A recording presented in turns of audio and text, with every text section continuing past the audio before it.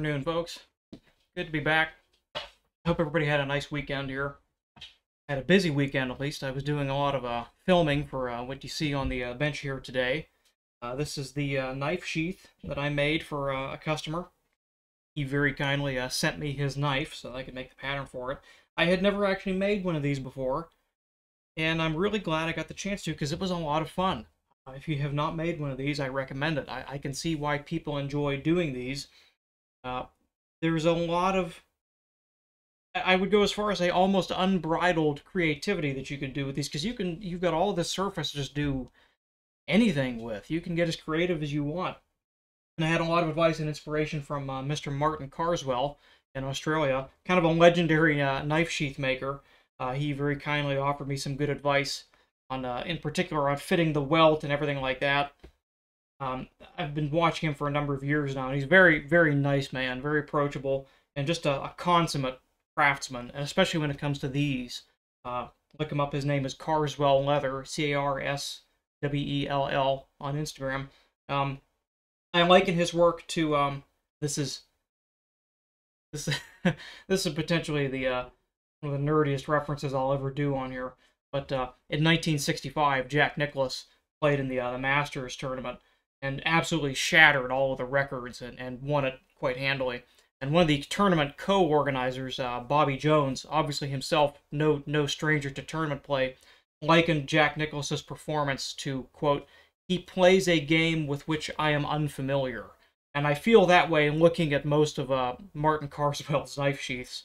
Uh, he and I do the same thing. We work with the same material, but what he does is so dramatically different from what I do, and his skill level is so remarkable. It feels that way when I look at, at his work. I was uh, I was privileged to be able to, to to be able to approach him and ask him for advice and also receive it. So that was that was very nice. So this knife sheath is made with uh, bridle leather, and it has an inlay of local to me. It was actually tanned in my hometown, uh, calfskin. It was tanned in 1969, October 15th, 1969 is when this stuff was dated. And I have a, a small stash of the stuff that I save for special projects. Uh, and I felt this was uh, certainly a good uh, use for it. This is a uh, this is a dyed and burnished finish on the top here. I was pretty pleased with the finish I was able to get with that. To get uh, a good reflection of it there. So yeah, I was pretty pretty happy with that. This is actually a very simple construction. There's only five, technically seven pieces if you count the inlay. But the back of it there, there's two, there's an interior piece for each side, an exterior piece for each side, and the welt. And that's about it. Yeah, his his work is those patterned, that patterned burnished edge he did is is just remarkable. I have never seen anything like that. I was pretty happy with using, uh, I used the cutout of the welt for the shape of the inlay. Here's mine. Here's why I'm not getting any light on here. I have two wallet pieces drying there blocking it. But the uh, shape of the of the inlay is identical to the welt, which incidentally is identical to the shape and size of the knife. So when the knife is in the sheath, the inlay perfectly represents the uh, the size of it, which is also handy for determining which way is up, because it's kind of ambiguous. What a what a beautiful beautiful knife. My my good friend uh, Trenton sent me this knife. Now I'm kind of a kind of sad to have to send it back. I can't just keep it. But uh, very very fun piece. If you haven't seen it yet, I did uh, film the entire making of this and put it on on my YouTube channel. So check it out. You have uh 20 minutes to spare. I think it ended up being my longest video yet, but it was nice to return to form. I hadn't got to do one of those for almost a year, since July of last year. Uh, working at the paint shop kind of didn't give me a whole lot of time to do anything other than what I strictly needed to. So I would not say it is typical to have a fancy sheath for a fancy chef's knife. This is definitely, it, it is in the same line as having a nice wallet. It is not something that you strictly need. You can certainly get something that's simply utilitarian that will do just fine. And from what I understand it, this knife spends most of its time in a drawer, so um, it is not the kind of thing that's going to get used very often. But I would not say, well, I wouldn't say it is typical. I wouldn't also say it's extremely unusual to get something for something this nice. Uh, I wouldn't I wouldn't have a nice sheath for just a basic Victorinox, but obviously by looking at it, you can see that this is not a typical standard knife. So it makes sense that you would have something nice for this one. But for most of your regular daily cooking implements, I don't know. It's kind of ironic. I hang out in the Chef's Knives Discord, and they very politely allow me to stay, even though I um I don't really cook and I don't own any chef knives. But they still let me hang out there anyway. I kind of make up for it by posting a lot of cat pictures, and they seem to like that, so I guess I kind of pay my way by that. But it was nice to actually have some relevant uh, content to finally contribute to that community. Very, very nice fellas there. So, very, very cool stuff. Again, if you're if you're on the yeah, yeah, I would agree, oil boss. If you're on the fence about trying one of these projects, definitely do it. It is um it is not as difficult as you would think. Basically, getting the margins down for it is, is the important part. So, yeah. This is my everyday chef knife. I carry it with me everywhere I go. Let me go put this away. Actually, I have here... Here's the uh, the remainder of that uh, piece of leather, and you can kind of see here. These are uh, these are basically uh, test swatches from the Ohio Leather Company, and they're all about this size. They're all about 8 by 11, 8 by 12, and I have about maybe 60 of them, and I kind of save them for special projects, but most of them are dated. Some of them are handwritten, like this one. Some of them actually have stamps, you know, tagged stamps on them. Most of them are from 1968 to 1969. A couple of them go back. The, the oldest one I had was 1952, and the latest ones are from 1971 when the tannery actually closed. Um, it's kind of nice now. There's a lot of talk about revitalizing that section because it is horrendously polluted. Uh, this tannery was one of the early adopters of uh, the chrome tanning process, and as you can imagine, uh, operating in the early part of the, of the 20th century, they really didn't think much about environmental ramifications, so that place has been uh, treated very badly. But they've worked very hard for about the past decade trying to clean it up, and there is serious talk now about turning it into a park, which would be wonderful. Uh, so I have high hopes for that area getting revitalized and getting rebuilt. Uh, I think I'm about to be interrupted here. My mother has just pulled up. Yep, she's coming in. Hang on. She's going to be mad when she realizes she's interrupting my stream here, but she's she just stopped at uh, Batterix Butcher Block over in uh, Niles Mineral Ridge.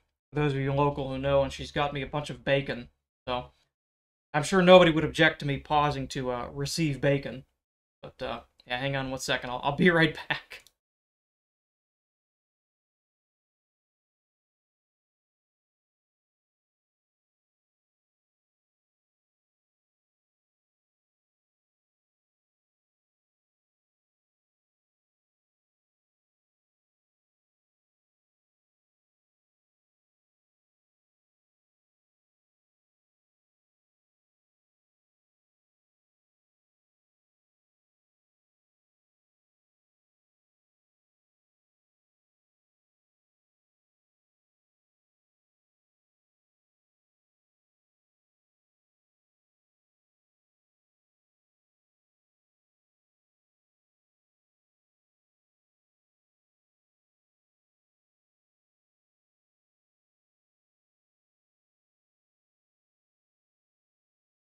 All right, I'm back. Sorry about that. I, I didn't expect. Uh, she told me she was going to the the butcher block today, and I didn't know when she was going, so she just kind of showed up with that. But I digress.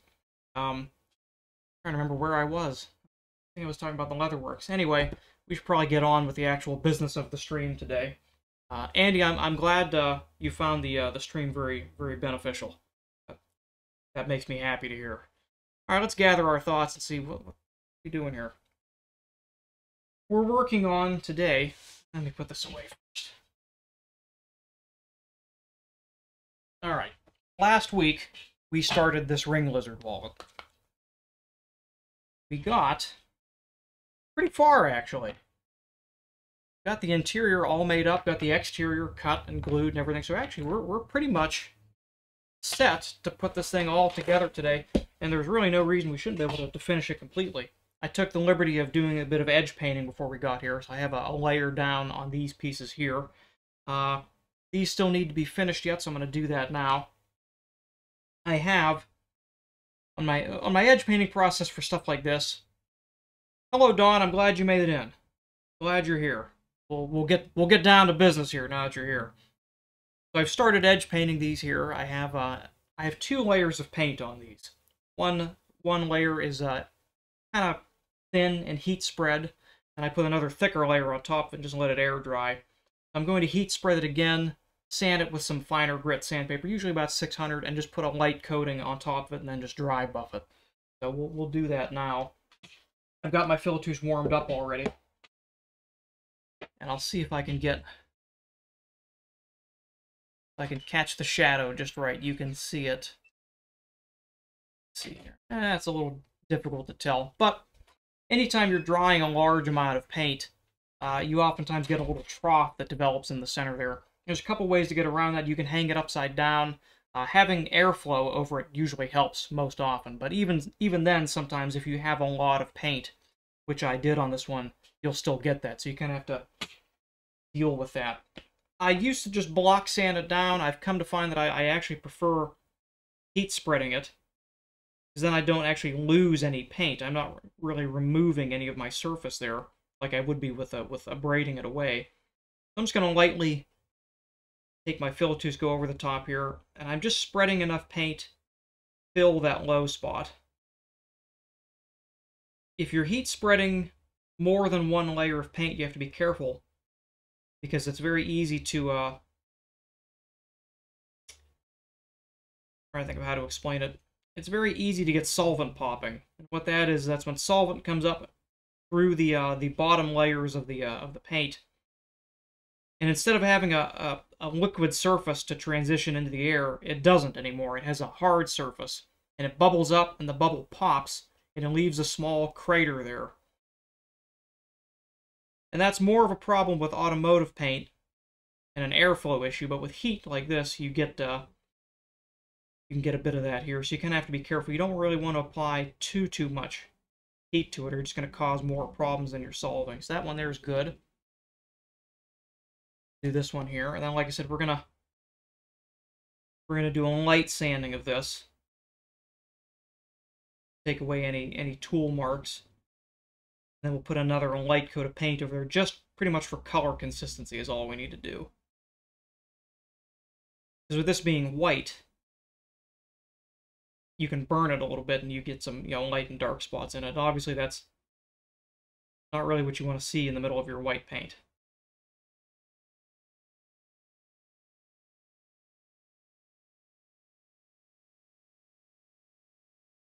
That should be good there. And like I said, we're going to use higher grit for this. These edges are pretty true. We're not really looking to take out major surface defects or, or you know, true them up. They're pretty much already done. So I'm just going to hit this with a little bit of 600.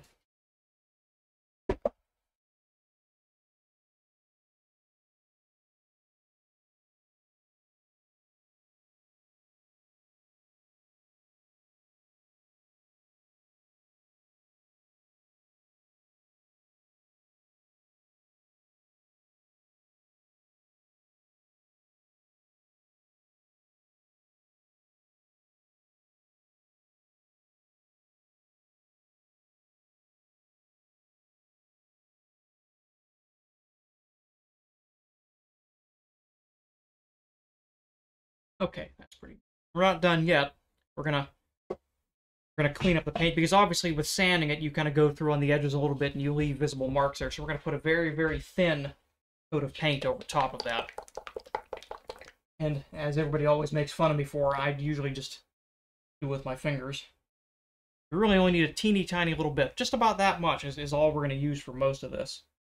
Get it spread out there. Real quickly. Wipe it down the edge there.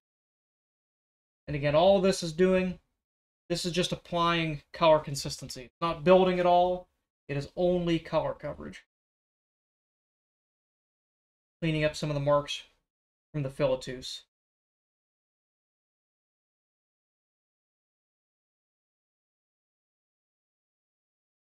Edge, make sure we don't have any spilling over, which on this one we do not. We're good on that one.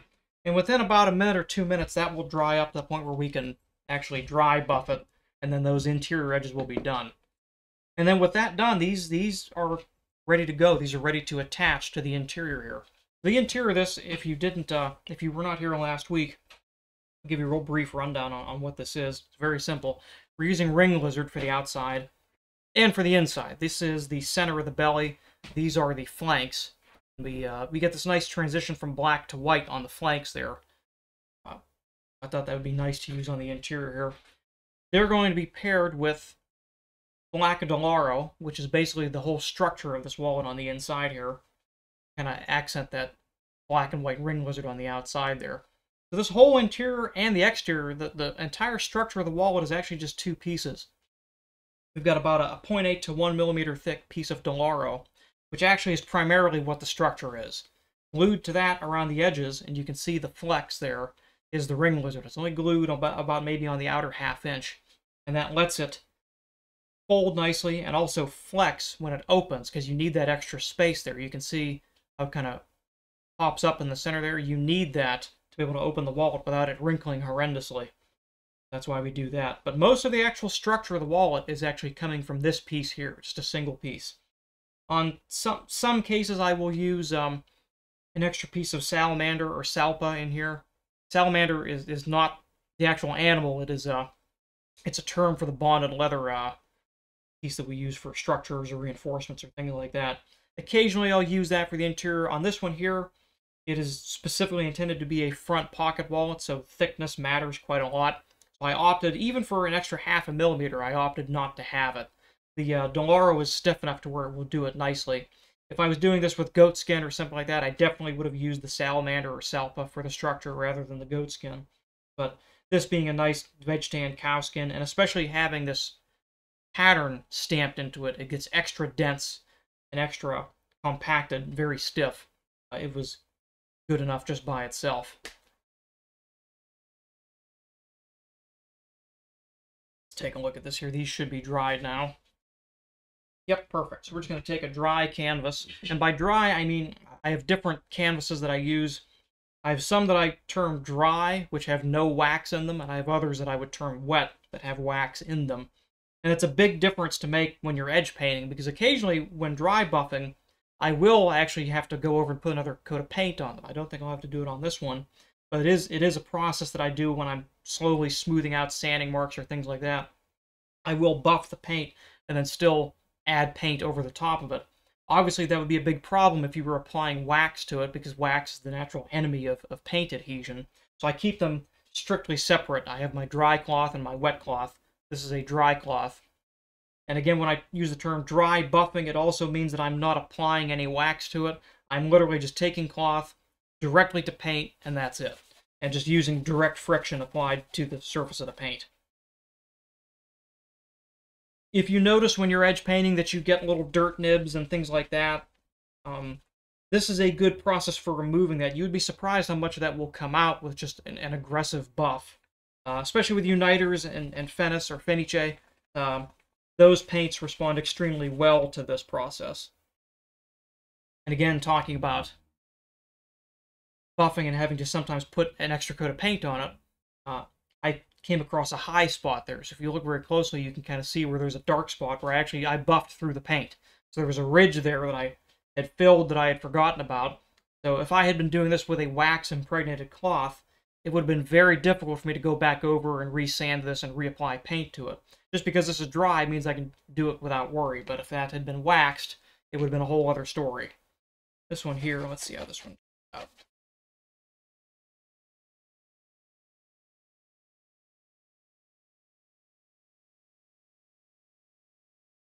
This one, I'm gonna do I'm gonna do them both. I'm gonna step up a grit again. I'm gonna go from 1600. I'm gonna do it with 1500, which is just enough, just enough abrasion to get good adhesion, but also really not adding any additional sanding marks or other things that we would then have to take care of. Kind of got hung up this morning. I was hoping to have all of this done already before the stream started, but I wasn't paying attention, and here we are. So you get a little bit of an edge painting lesson today. Probably the least exciting part of leatherworking. But very critical a good general rule for uh, leather goods. If you're trying to determine the quality of the goods or objectively measure the quality of them, looking at the edges is a safe bet.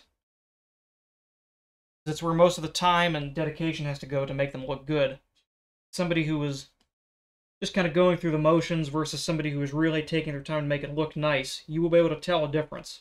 So I always am able to judge leather goods by the edges and how they're how they're dressed. Are they dressed at all? If they're dressed, are they done nicely? That is the, the determining thing there.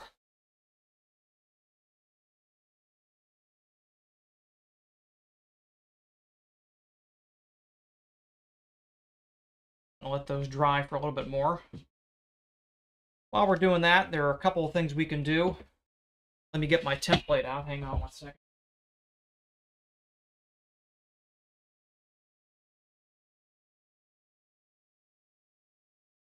While we're waiting for that, we can do some important things here.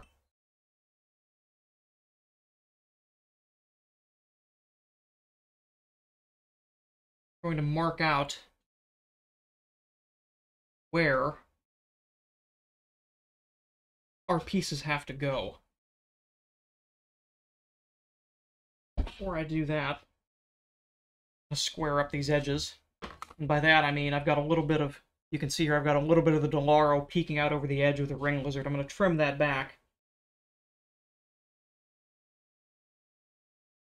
Because I'm measuring from the inside. Nothing would be more embarrassing than trying to put this together only to discover that I've glued these in a place where there is no lizard on the outside. I've, I've missed my margin. We're going to clean up these margins a little bit. They should all roughly be about an eighth of an inch oversized. We'll be able to tell for sure when we lay our pattern down. So yes, perfect. So you can see they're very, very close, roughly about an eighth to a sixteenth of an inch additional space on the outside edge, which is perfect because that means when we glue these down together, we can trim them all flush and get a really nice, clean, smooth edge from that. I'm going to mark this out with a gel pen. These gel pens are not good. I uh, I ran out of my usual gel pen and I stopped at uh, Joann's. I bought two there. And these are these are just terrible. So I'm gonna I'm gonna show you. this is a white gel pen versus black. And it's gonna be good to start with, and in about a minute, it's gonna flash down so much to where this white is almost transparent. My old ones, you could see them for from a mile away. These ones here, I don't know what the deal is. And it's not like they were cheap. They were they were no less expensive than the ones I'd already bought on Amazon, but I I, I don't know. I like using the gel pens because they, uh, when they're good, they're very visible, and you can leave a mark without having to uh, scribe a line like with a scratch awl. That's a, if you do it with a scratch awl, that is an absolutely permanent, irrevocable mark. Whereas these ones here, as long as you're not pressing too hard with the pen, you can always go back and wipe it off with a you know a damp towel. I notice as well on my template I have these interior lines. These mark where the interior edges of the card slots go. So I know that when I place them there, I have a reference point for both the inside edge and the outside edge. There's the margins for our, our wallet there. You can see already on the bottom we're starting to, to flash down a little bit and lose that line. I don't know what the deal is. I don't know what is going on with that. That's damnably frustrating. These are dried up, so now that I've put a little more paint on it, I'm going to be a little bit less aggressive with my buffing. Feels good.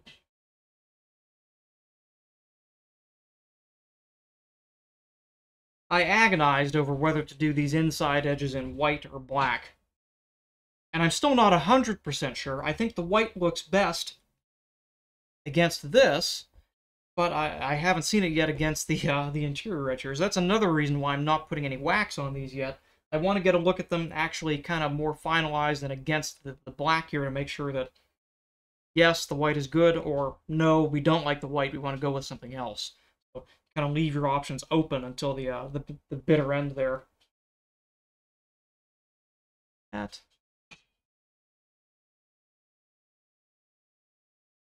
Upon first glance, I like it very much, actually, which is good. I think that works. I think that works, actually. Give me a second. I'm going to clamp these in place and show it on camera. Don, I'll give you a chance to sound off yay or nay here. I think yay. But we'll see here. Let's give you a quick look. I would say that it is the uh, the most important part of it. Because when you're doing stuff like this, you have all these layers of things that go together.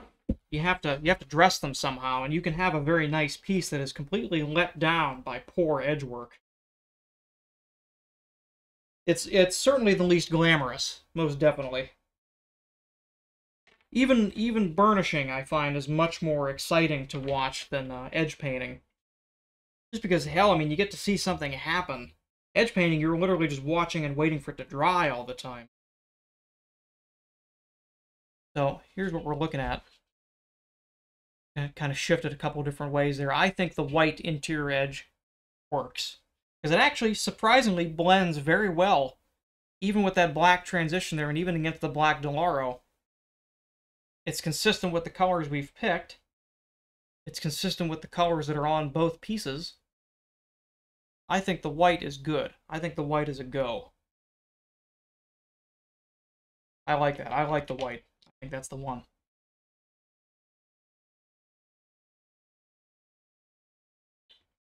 It's funny that you asked that, Oil Boss.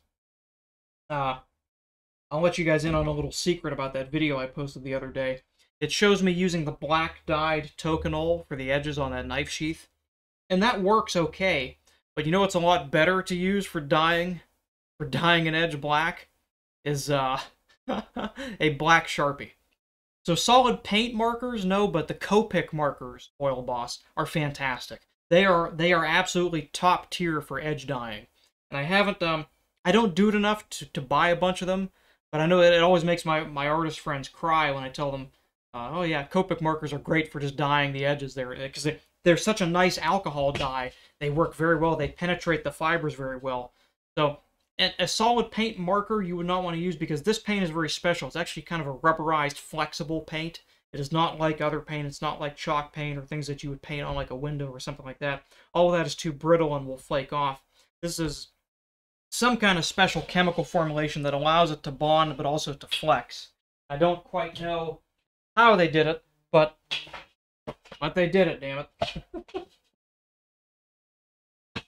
All right.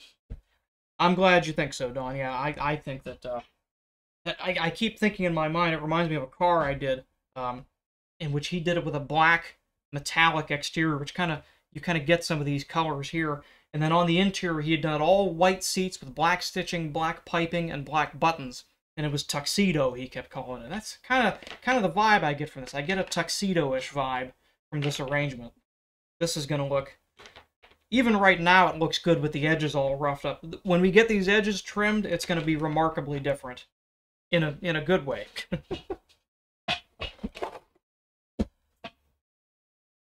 Let's double check. All our alignment looks good. And Mark out here. just checking sure that my margins are all visible. Are okay. Check the other one.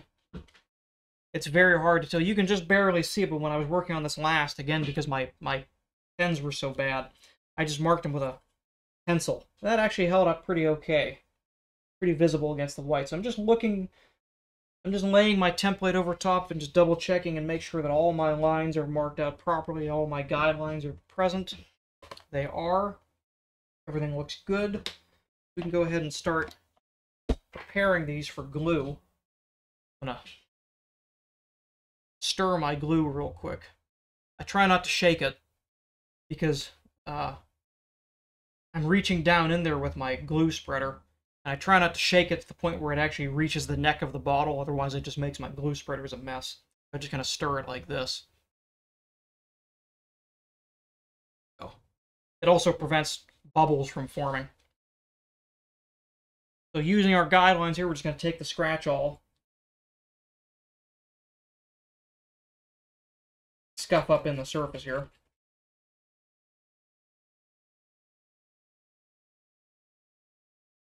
Another very unglamorous part of leatherworking, but no less important, is the scuffing.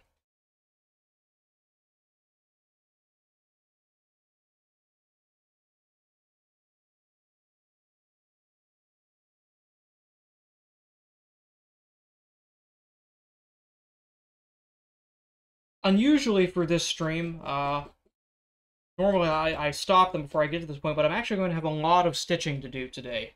Uh, basically, you know, the whole perimeter, and that'll probably take a good half hour to 45 minutes. Um, I don't really have much to talk about. So I would say if you have questions about anything, hold them until then when I have nothing to really show or talk about, so we can actually have something relevant to discuss while I'm just sitting there stitching interminably. Unless you just want to take a nap, which is also fine. I, I love stitching. I, I find it very soothing. But I'm also the one doing it, so I, I imagine that it's probably far less exciting uh, just to watch. so I'll apologize in advance for uh, a lack of excitement coming later in the stream.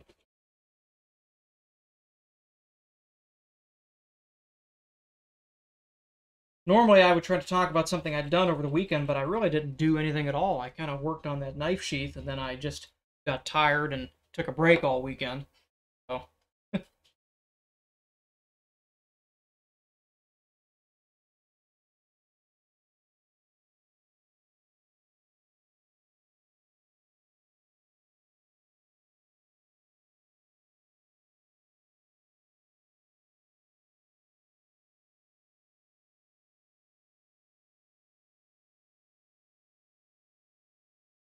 All right. There's our scuffs there. Oh, that shows up perfectly, yeah. So that there, that's going to ensure our bond to this side of the leather. We're going to do the same thing to the back side of these parts here. Kind of eyeballing where those go. And about to there. I always get nervous doing this because I tend to just do it very quickly, almost sometimes without thinking, and I'm always paranoid that I'm going to start scuffing something that is the surface that actually has to be shown. I very frequently have to stop myself and like look at what I'm doing and make sure I've picked the right thing. Because that would be incredibly embarrassing to just take a, a sharp tool and scratch the hell out of the thing we've just spent all this time making. So far it hasn't happened yet, but I don't rule it out as a possibility.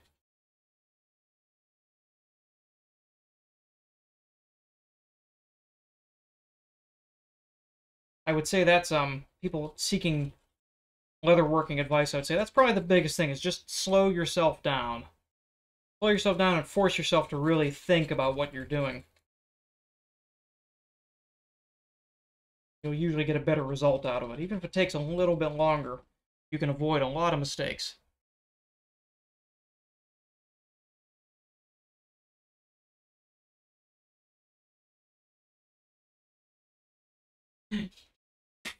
Did you really? Yep. See, everybody, uh, here, I'll show you. I'll show you something I did. Oh, this made me, I was unhappy. I'm still working on these guys. these uh the set of the kind of summery spring covered wallets. So this looks pretty good, right? This is this is nice. I like this. It could have been better because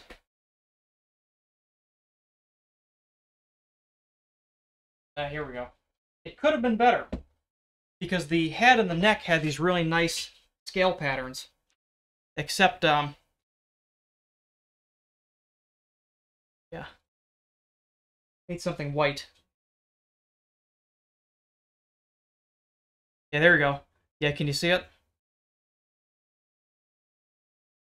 We could have had that nice, beautiful transitional gradient pattern there, but nope. And then I even thought, ah, oh, maybe I can salvage it with it. Oh, nope, I can't. So, yeah, that's unfortunate. This was a very thick, look at how thick that, that's a 16th of an inch thick. That's almost like four ounces, almost five ounces thick alligator. I've never seen one this thick. This one came from uh, it was done it was hand dyed in Japan. I got this from Jay Hartke, and um, I don't know why this one is is such a thick thick skin. Very different from the ones I usually get from Amtan.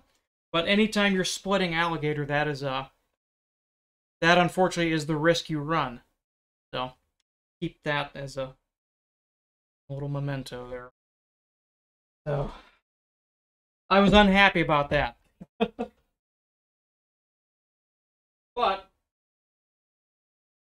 think the final result will be well worth it. So these are going to be really pretty to photograph together.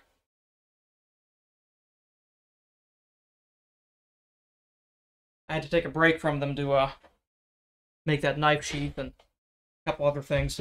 I'm hoping to finish those up probably tomorrow. Then back to regularly scheduled customer orders. Yeah, I was splitting it down when you're doing those, I try to split them down to about uh, half a millimeter, which you can imagine it's it's fairly risky.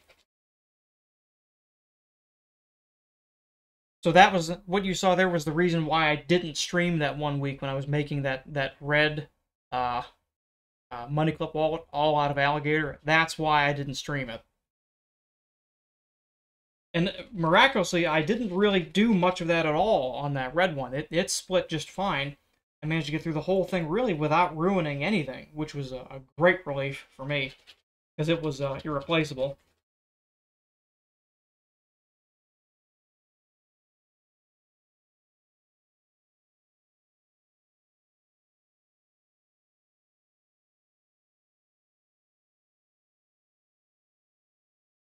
I do not have a splitter. I did that on the Bell Skiver, Dustin, which is not something it is really intended to do, but it can do it. It's not happy about it, but it does it. I had hoped when I was doing this uh, transition into this full time, I had hoped that I would be able to actually sell my business rather than closing it altogether. And uh, my plan had been to take some of the funds I made from the sale of the business to invest in a splitter. But obviously that didn't happen. I just had to walk. So those plans are, are dashed for a little bit yet, but eventually that is in my future. For what I do, I, I really do need one. Number one, just to be able to, to have easy access to materials from overseas, so not have to worry about having a third party split it. That would be a huge benefit. So it is in my future, I just unfortunately do not know when. I always know I can run down to, to Louisiana and use Ben's splitter if I have to. But um, or up to uh, Toronto and use Steve's. But so far, the Bell Skiver does me okay. I usually order just from Rocky Mountain Leather, and they're pretty good about splitting it for the most part. Some people have trouble. I seem to have no trouble at all with them.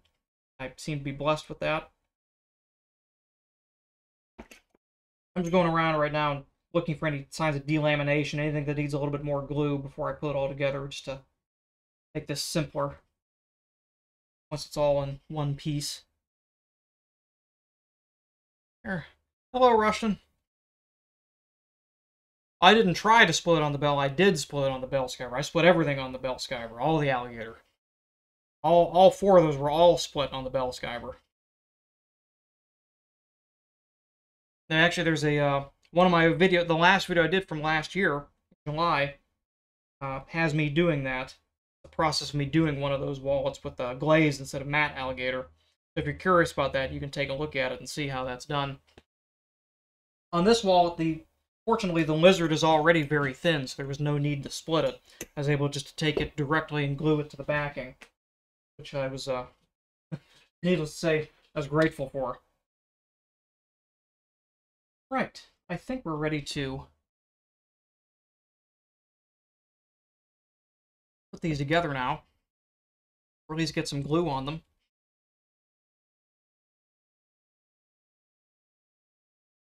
For these pieces here, again, I'll be using the, uh, the Aquilim contact glue. And I just find that uh, calfskin and chrome tan and things like that generally bonds better with this glue than with the, uh, the, the usual Seiwa PVA glue.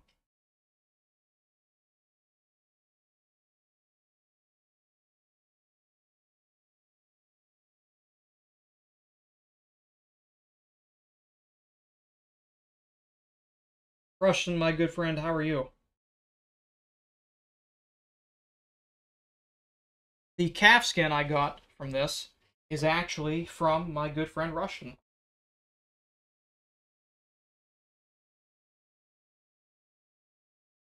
From Spain to England to the United States. What a marvelous modern age we live in.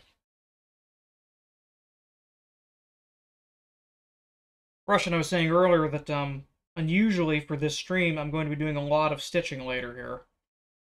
I've uh, I've not got a lot to discuss. I didn't do much this weekend. I was hoping, I was hoping that somebody would give me something to talk about. If you have any suggestions, let me know. And likewise, if you guys have any questions or topics you'd like me to uh, expound upon, that would be a great time to do it.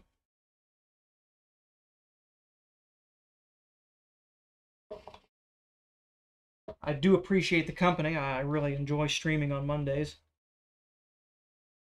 It has been a nice way to frame the week. Now, somebody remind me when I go to glue these together.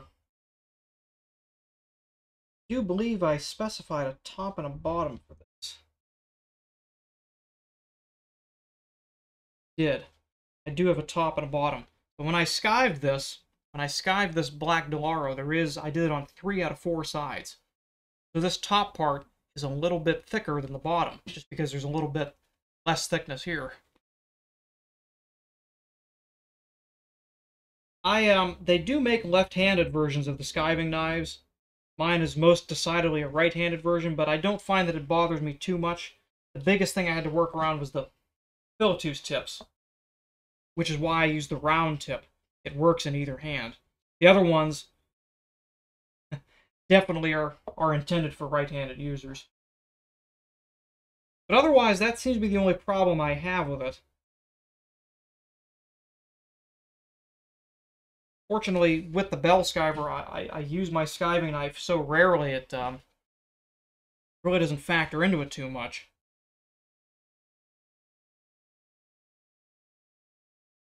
But yeah, I'd say definitely the uh, the fileteuse tips are the biggest impediment to, to being left-handed. They do make left-handed creasing tips, but, you know, hell, the things cost an arm and a leg to begin with. I wasn't about to go buying another whole set of them just to be able to use my, my hand with them.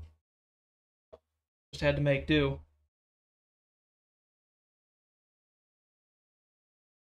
Otherwise, no, I can't think of anything else for it.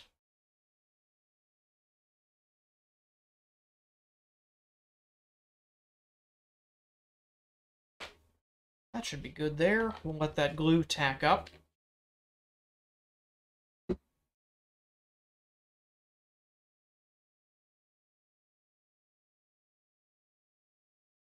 While we're waiting for that to dry, oh, nope, I turned the fileteuse off already. I'm gonna heat spread some paint, but no dice. Guess we'll just have to sit here and wait for the glue to dry.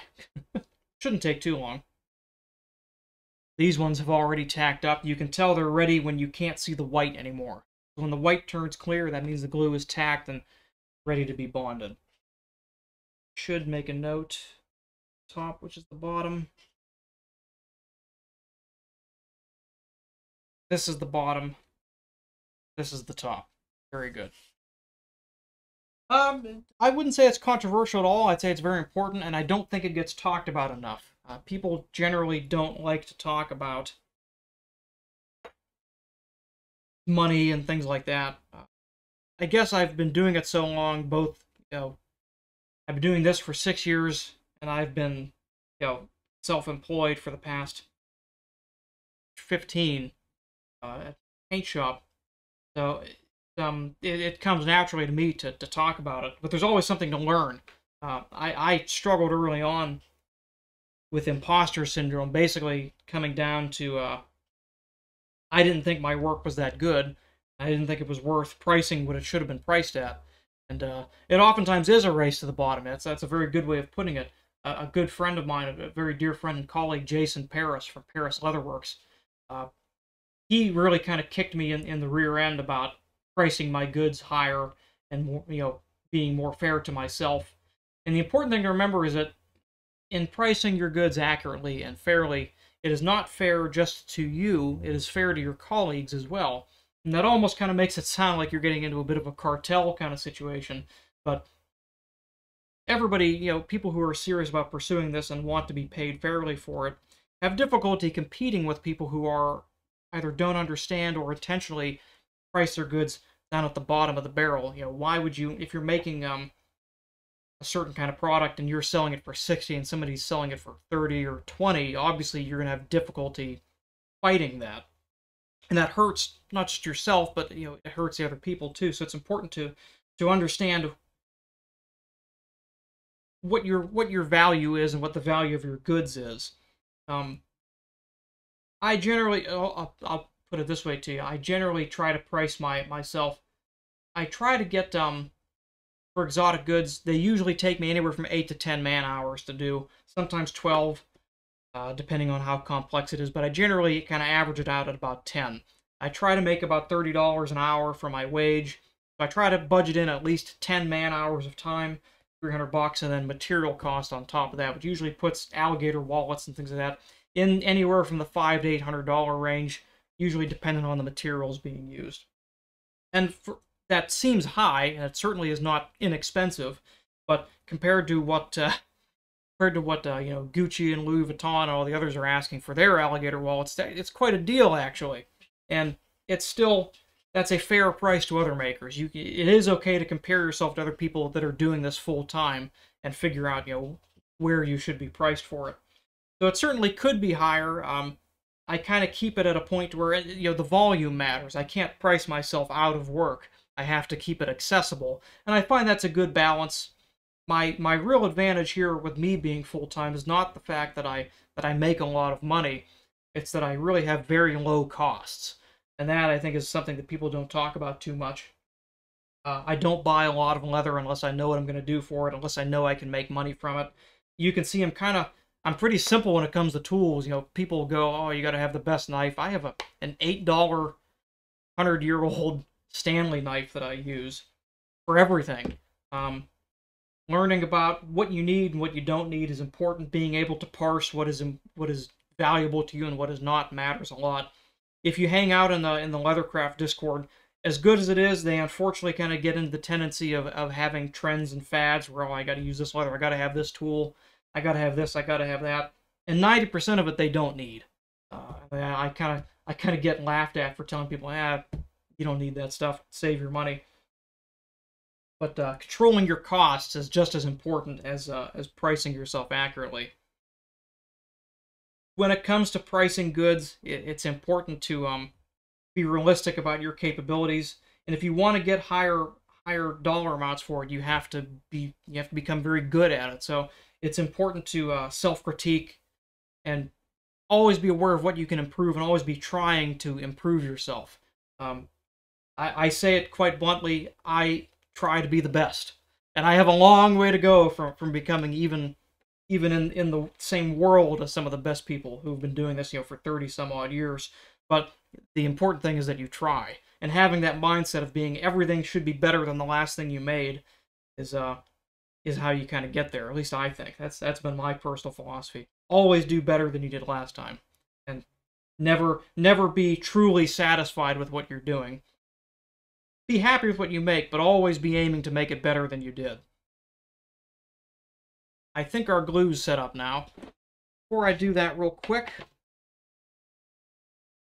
I'm going to give one last look to our edges here. Yep, these look good. I'm going to dress these with a bit of wax.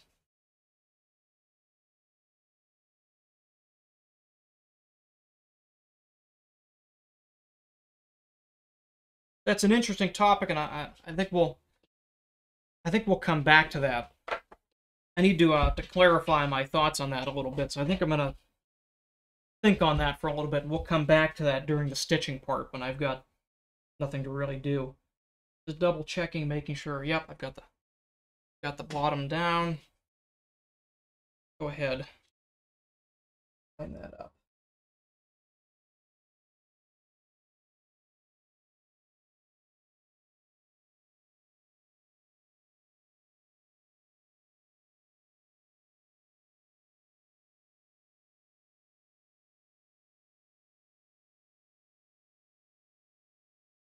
Good.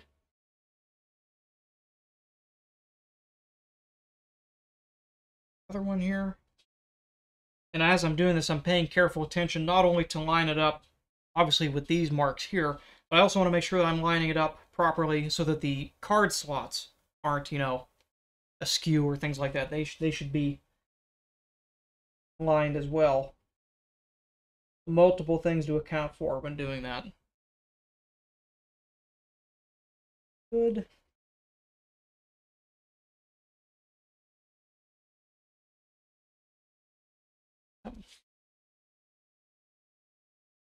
Yep. Yep. Good. Well, don't bravo me yet. I still have to trim this. And that's going to be the frightening part.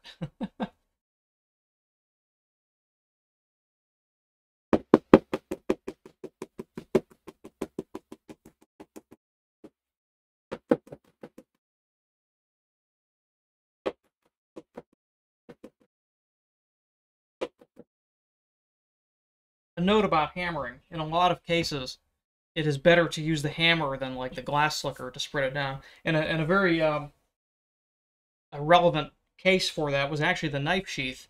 Doing the inlays, you'll notice when I when I go to press them, I most of the time I'm hammering them down. And the reason for that is when you're using a glass slicker and you're using this kind of pressure, it would be very difficult to do it on this leather, but on the bridle, it is a little stretchy in places. Even you know, even you know, proper you know, not not even getting into belly or, or neck areas. It, when you're putting tension down and stretching it like that, you can distort it, and obviously that would be extremely bad with the, how tight the inlay needed to to sit.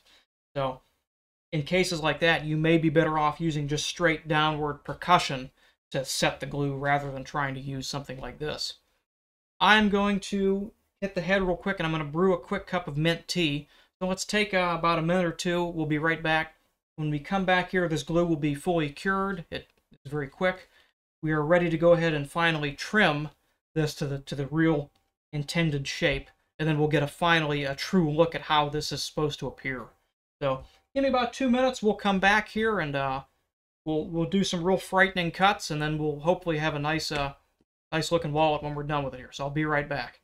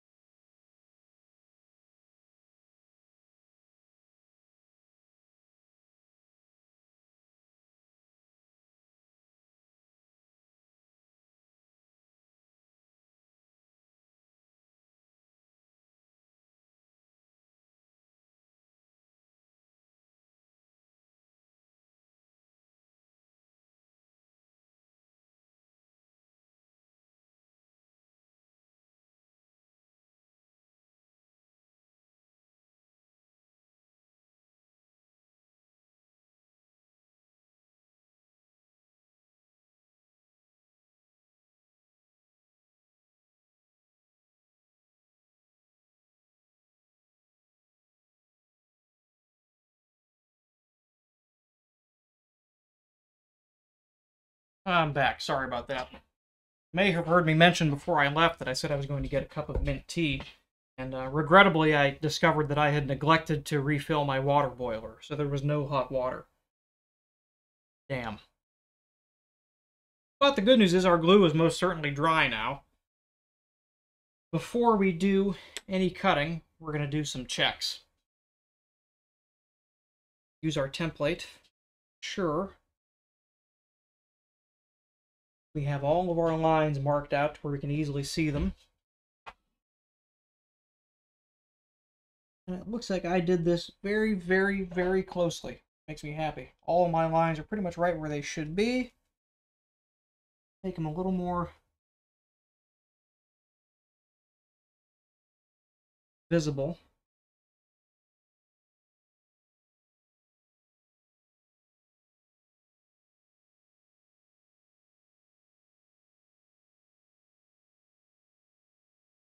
Think this is the first time I've ever had to use pencil to mark leather before. But it is working, so. There we go, that's pretty.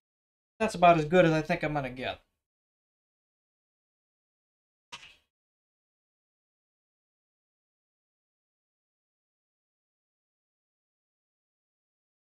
Uh, as for your question about pricking irons, ask me again uh, during the stitching. We'll, we'll come down to that.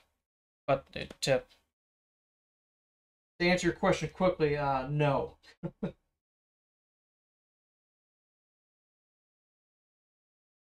I do not think, other than the extremely obvious parts of it, uh, no. I generally don't think they matter that much. Alright. I think we're ready to do this.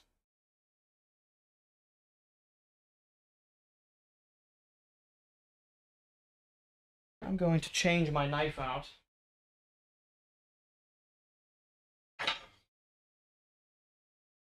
Only the freshest of blades. Something like this.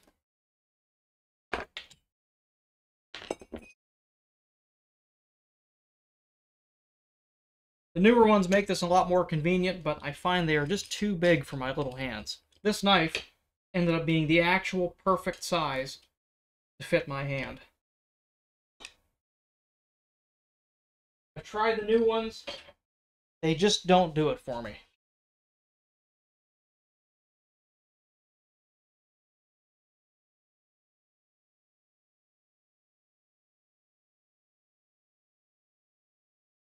We're going to start with the easy one first. Here's my tape. Tape's got to be right in front of me. Where is it?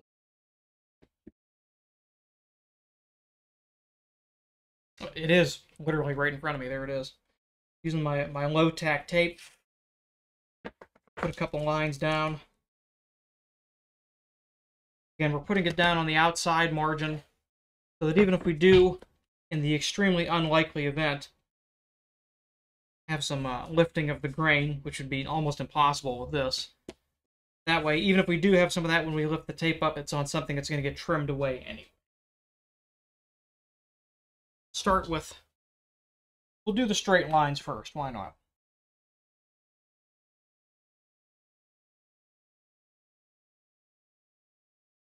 Good. Proper.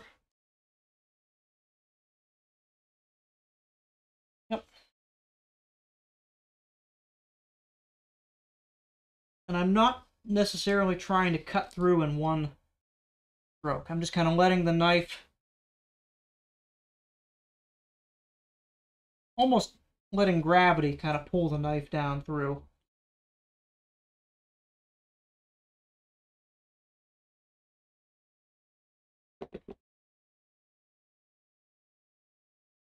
The lizard being, you know, reptile skin is a little dense and kind of tricky to cut.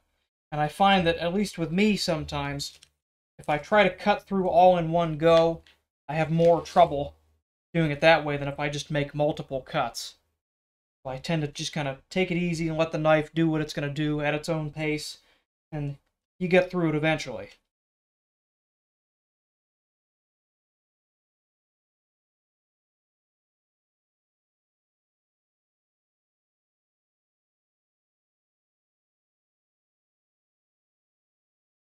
Bottom now. Again, using a long ruler because it flexes on the on the front and back and it lets me kind of put even tension across the whole piece rather than rocking back and forth if it was something thicker.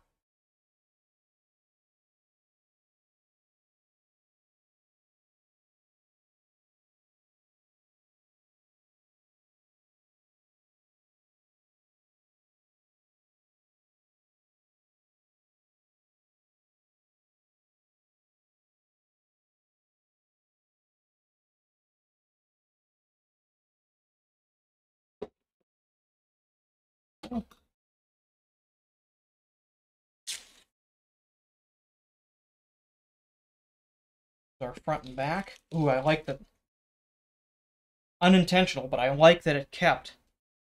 I don't know why I'm pointing with my middle finger there, excuse me. I like that it kept these two little white flecks down there.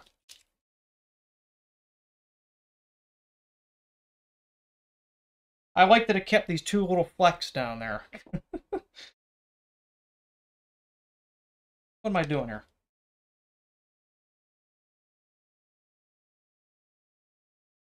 So now the fun part. And it's a little tricky for you guys to see just because that is a pencil mark there.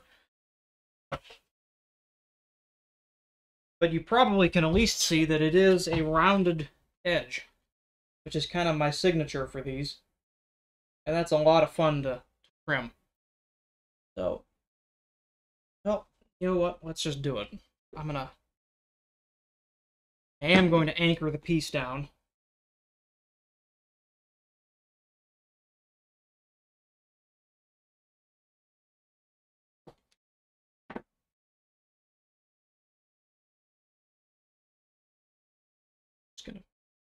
Trace it again real quick give myself a little more visibility.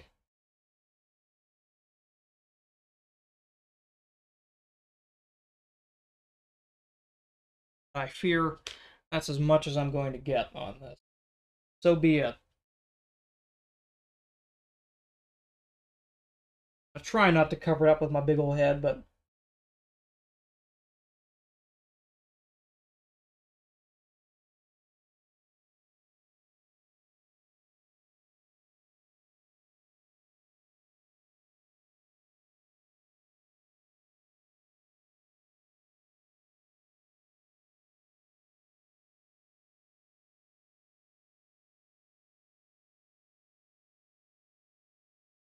it's actually cutting very well. The biggest hindrance is just the fact that it's so darn hard to see. That's really the biggest trouble.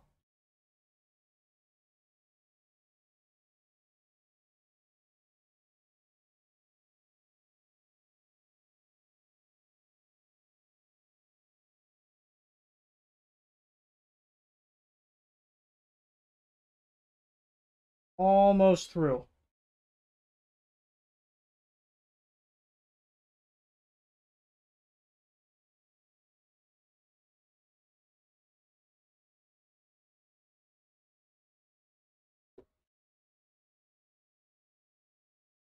Obviously, the downside to making that many cuts is you lose some of the nice flushness that you would in just doing a single cut there.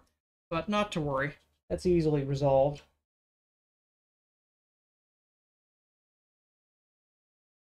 A little bit of extra trimming with the knife and our planer later on will really trim that down. Let's... Shut up, Rushton. There's all the layers of our our wallet there. We have the outer, the Dollaro inside, the liner for the pocket, the Salpa that is the actual structure of the card slots. Here's the top visible lizard. Here's the liner for the top pocket, the outer visible lizard. The advantage of trimming it all together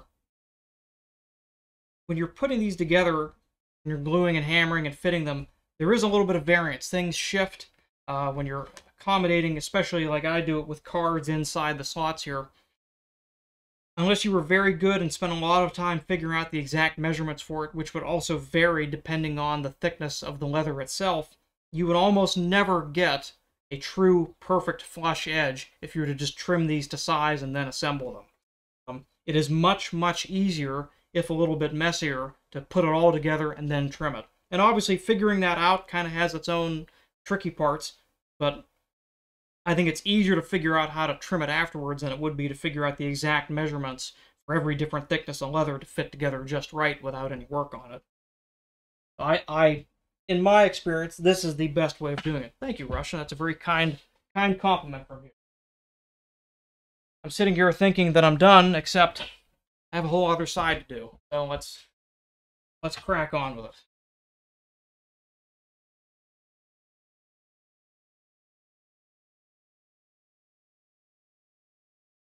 And I'm going to I'm going to retrace my line there just to try to get some more visibility from it.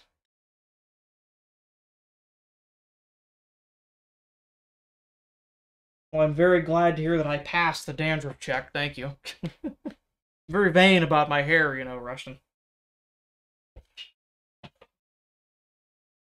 Yeah, that's kind of how I do it. There are certain guide guide pieces that I'll use that, that are exactly to size, and everything else is cut to that size. That's how I did the uh, the knife sheath. I kind of cut the interiors to, to perfect fit, and then everything else was sized around those. If that makes sense.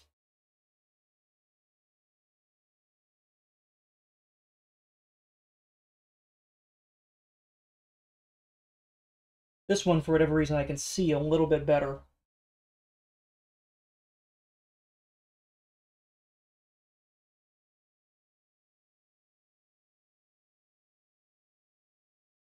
Ooh. Almost bad.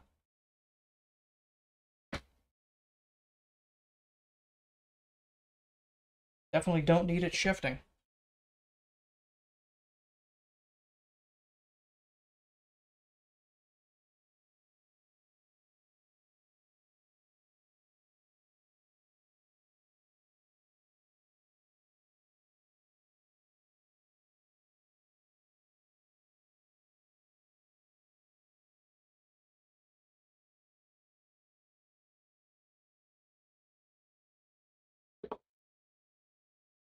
That'll need a little bit of cleanup, but not much. But now, at last, we finally have a clean shape to this wallet. It's amazing how different that looks already. I really, really, really like this.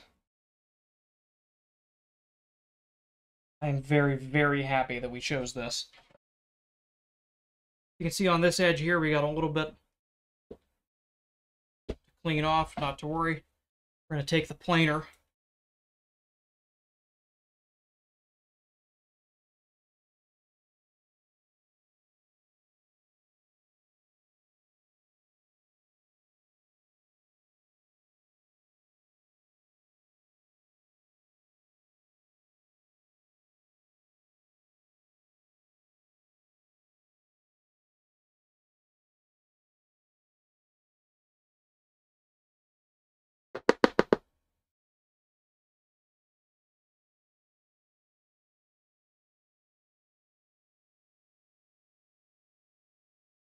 So that right there is how much we took off from that. Now, like I said, even though we had to clean it up a little bit, that took, what, less than a minute? Do the other side, too.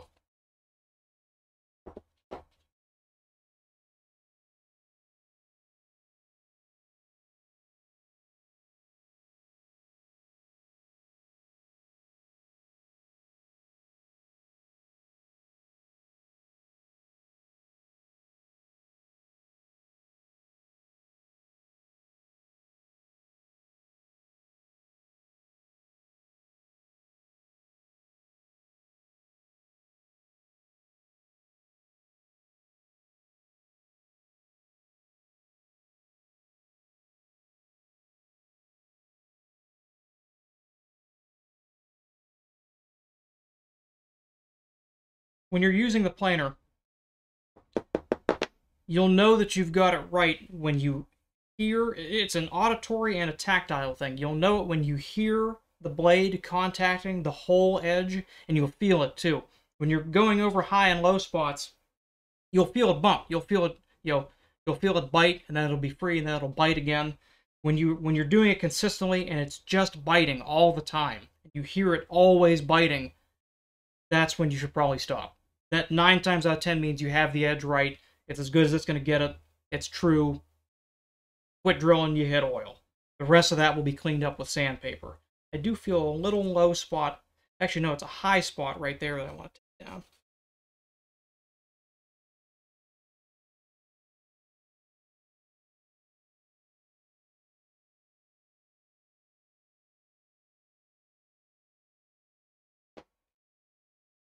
So this is the Okada planer. Um, this is a very nice little tool, but it costs a hundred bucks. I got mine secondhand for like 60. Um, it is a wonderful tool. It is a delight to use. I could see why someone would spend a hundred dollars for this. I would have difficulty stomaching that. Um,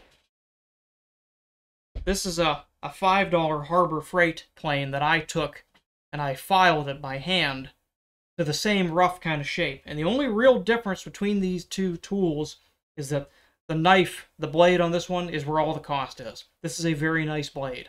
It will stay sharp, very sharp, for a very long time. This is one of the worst blades I've ever seen. You can visibly see the burrs on it when you buy it.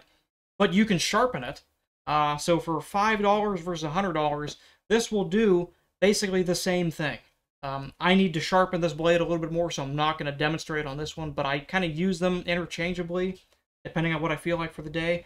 And just to be honest with you, I like the look of it. I took it and polished it and, you know, made it look nice. And again, all of this shape I did by hand with a file. But if you need a planer, a mini planer, you can go get one. You don't need to spend a $100 to have one. It's the quote-unquote leather leather working plane. This one will work any plane is better than no plane. So, um, food for thought. The, the argument about you should buy the best tools you can afford is certainly true, but sometimes the best tools don't have to be the most expensive one.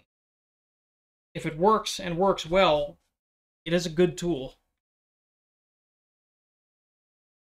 Clean this up here. By now, my water should be boiled, so I'm going to go make a cup of mint tea real quick. That takes so quick, I'm not even going to bother putting the be right back sign up. So I'll be right back. Give me just a minute. I'm going to make some mint tea. I'll be right back.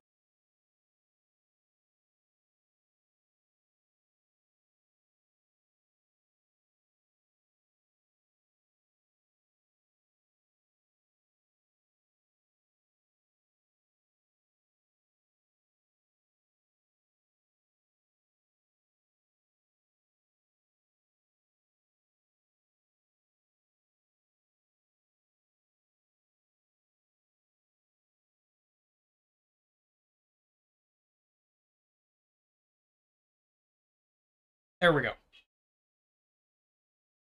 Let that brew in the cup. So, oh yeah. Yeah, I'm very, very happy with that. There's the exterior for reference. And the interior. Man, that's cool. That looks very cool. I like that a lot. I can't wait to take pictures of this. That's how you know it's good when you're sitting there and it's not even done yet and you're thinking about how you want to shoot pictures of it. That's a good sign. We're going to round the corners of it. These are just the, the My Leather Tool corner punches. And in the exact opposite vein of what I just talked about with the uh, planer discussion, these also cost about 150 bucks. You could just as easily do them by rounding the corners with a knife and a washer and just going around it around a corner or a nickel or things like that. I used to do that game. I got tired of it real quick. These do it much better than I do, so I shelled out the money years ago and I have absolutely zero reg regrets about it. the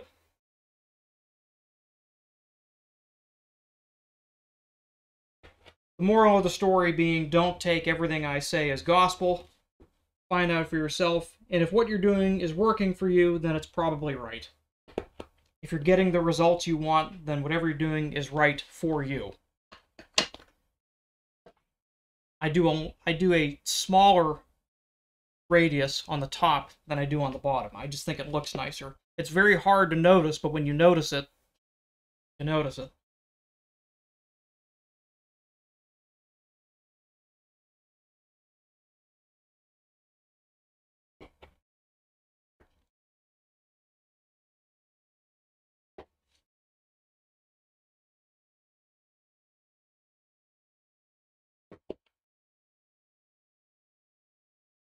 Oh, yeah.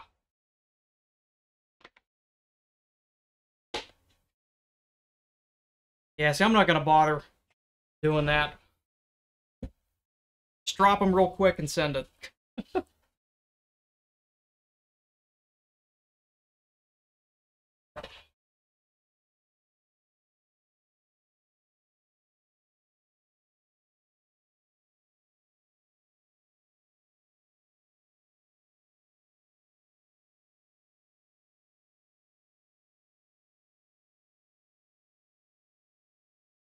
this will be an interesting task here. Now we have to prick the holes for stitching. And I'm wondering how well that's going to show up. I remember that it actually was better than I thought it was when I did these interior lines, which that thread, for being gray, blends so perfectly between the white and the black that you almost can can't even see it. If you look very closely, you can just make it out there.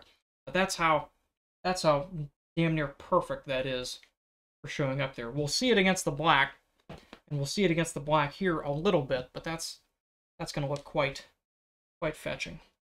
All right. Taking my wing dividers.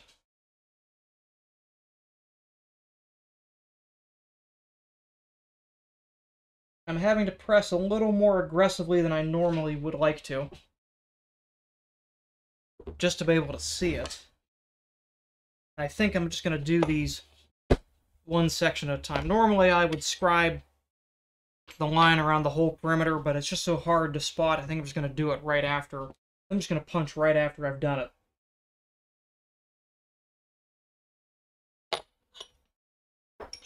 I'm going to start with a smaller.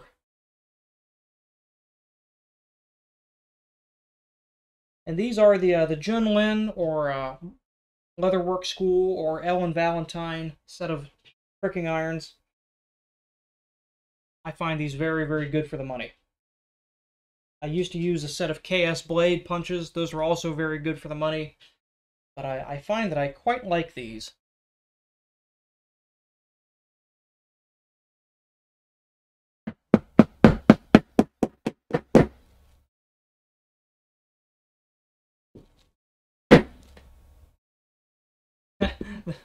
That color is so wild. Normally I can very clearly tell when my uh, tines have punched all the way through, but this with this here, you can't see it at all.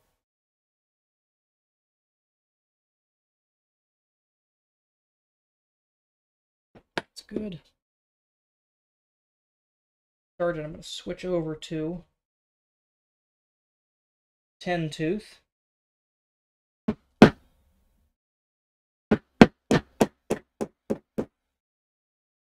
Oh.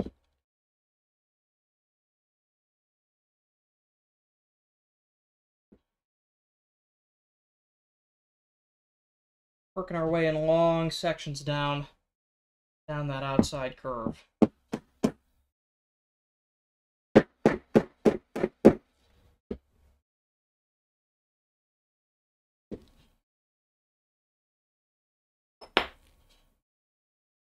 Yeah, generally Russian I don't need to bother with that, and I actually can when I get down low enough I can I can make it out. It's damnably tricky though.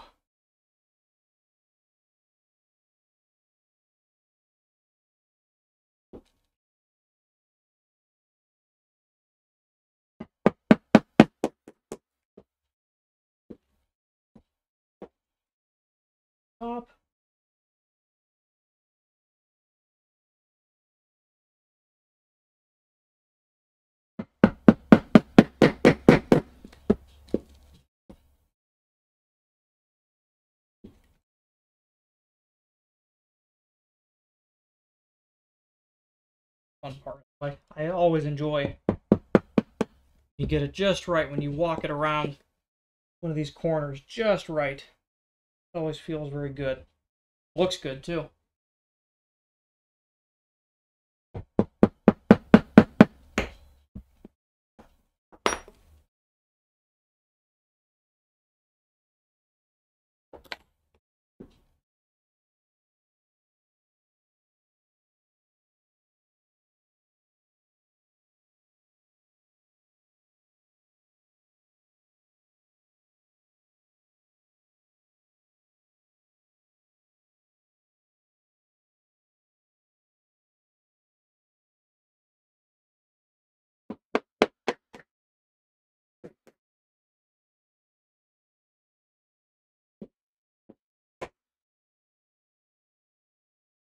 Set it through.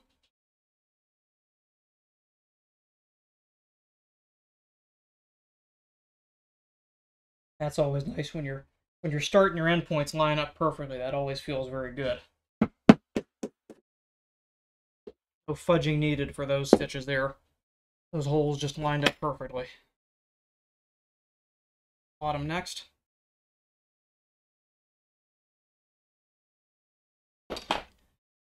Really need this tea today. Had a big weather change over the weekend, and unfortunately, being being very uh, a sinus-oriented person, my throat is a little a little sore from uh, sinus drainage overnight.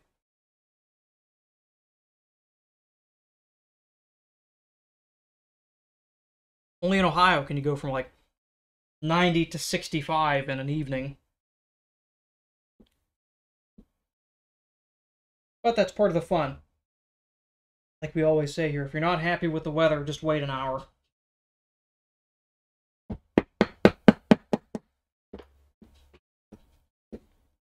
How many millimeter in am I from the edge? Uh, I think I'm three. Let's find out.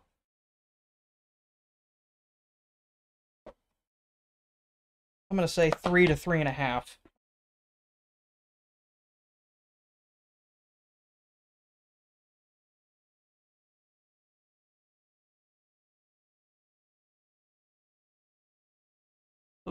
Technically closer to 4 from the uh, outside edge to the inside dead center of the stitch is 3.85.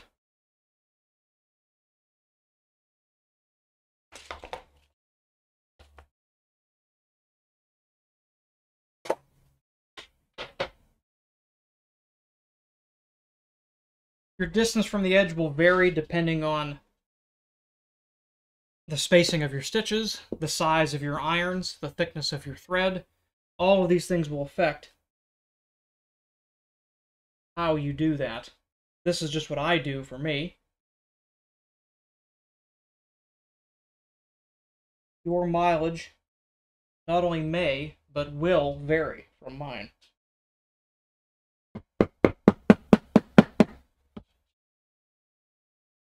I've seen people do that. It strikes me as a little too permanent for my taste.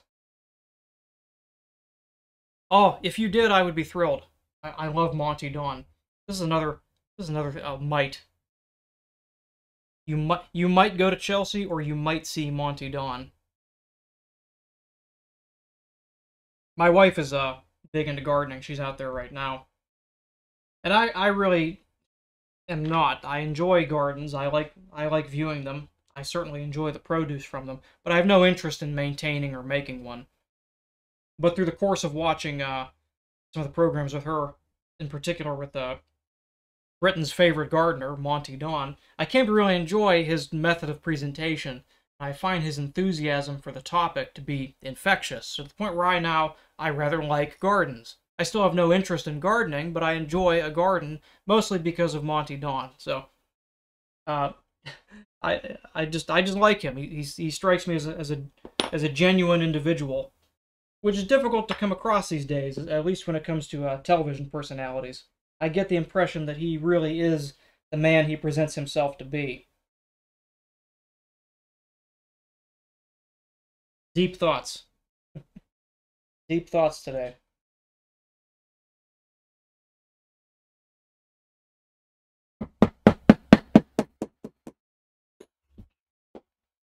I do appreciate that Monty Don in particular insists that uh, if you're for gardening, you need a good belt from a good English leather worker, is what he specifically says. So, I, uh, even as an American, I, I appreciate his sentiment.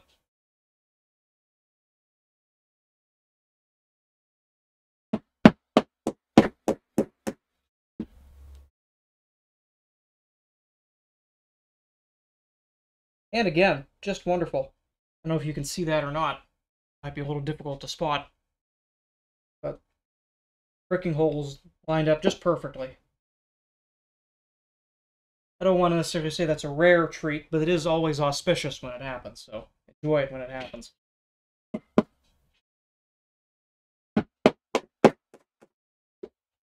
That's a good sign. That means everything is going just right.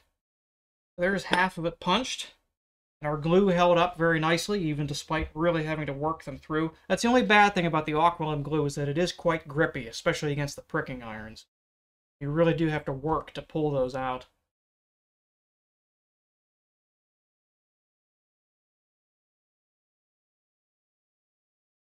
As much as I love a good cup of coffee, there are a few things on earth as good as a good cup of tea.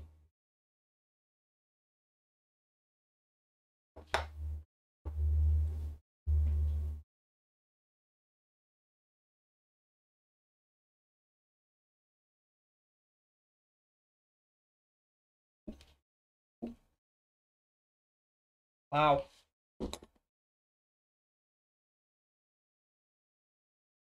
Catch that? So what do we do with that? Easier to fix than you'd think. It happens more frequently than you'd think, especially on this kind of thing.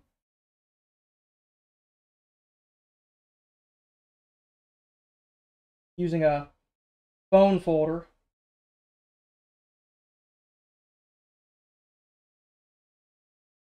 or your glass slicker, either or. Immediately after it happens, don't wait. Take it and begin working it back. Work directly on the line, work around it too.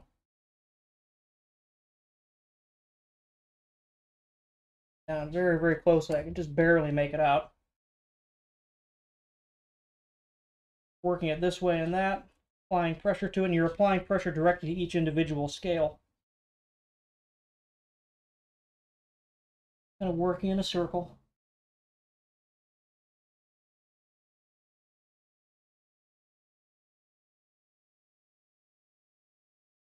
On exotics, that's much less of a problem than you would think, because the scales usually resist it very well.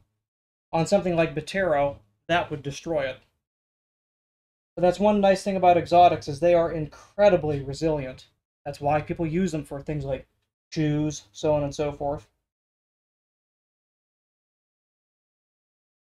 They're really, really difficult to permanently mark, and that's why I'm having so much trouble marking a stitching line for it. This kind of thing happens every now and then.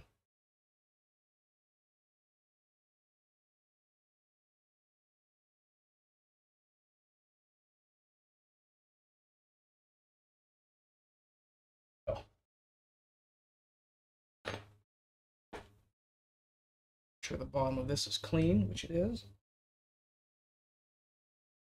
Here. That'll do. We'll come back to that later. That's one of the risks when you've got something that doesn't mark easily and you're trying to mark it. Especially something that's smooth like this. You can slip occasionally.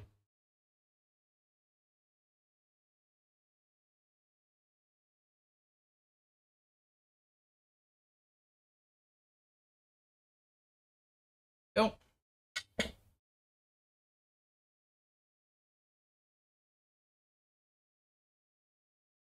Forgive me if there's noise of grass cutting going on out there. There's like two or three different lawnmowers that have just started.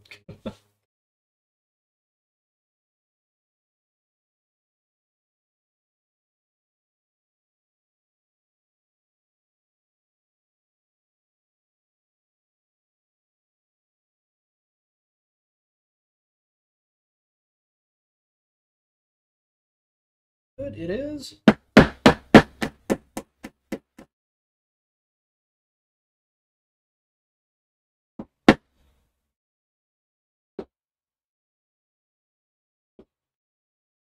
I've punched this first. I'm going to go back and bridge the center here. Just because it's easier, because there's such a height difference here, it would be awkward to try to punch through the top here and also get that. We'd have to rock the irons quite a bit. Whereas here, with the holes punched on both of the thick sides, you just sink the irons right down through the holes, and it's lined up just right there. It's nice and straight. You're not fighting the angle any there.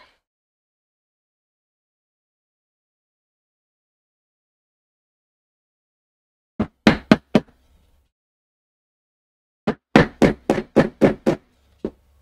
we go.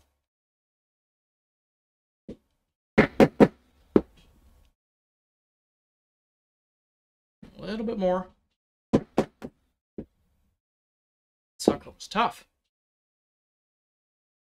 So there's our bottom edge. We'll do the top edge and then we'll join it here in the center.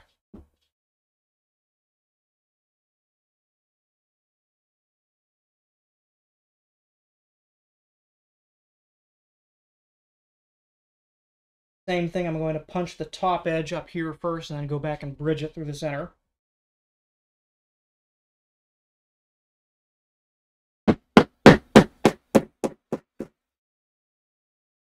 This is worth taking a, a good bit of time on. Go. Even though this is not exactly a contrasting stitch, it still has to be right. And God forbid if it is a contrasting stitch, if you're off at all, you will notice it. very, very quickly.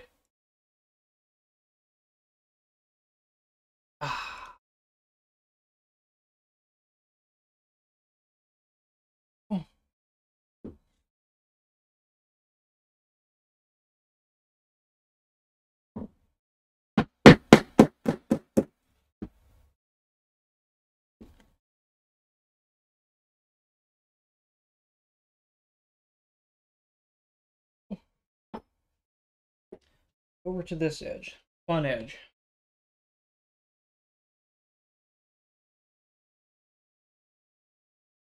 Working around the height difference of these card slots is always kind of awkward.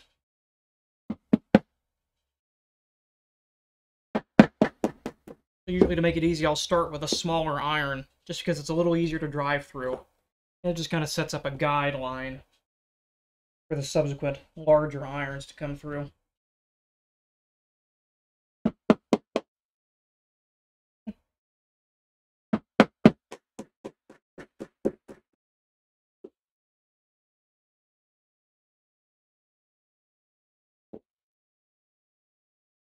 Desk so hard my mouse moved and almost closed OBS.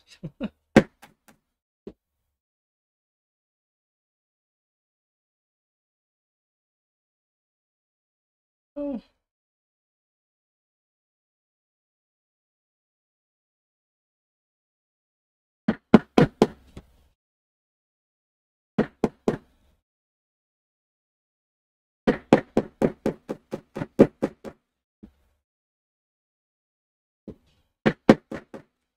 Almost through here.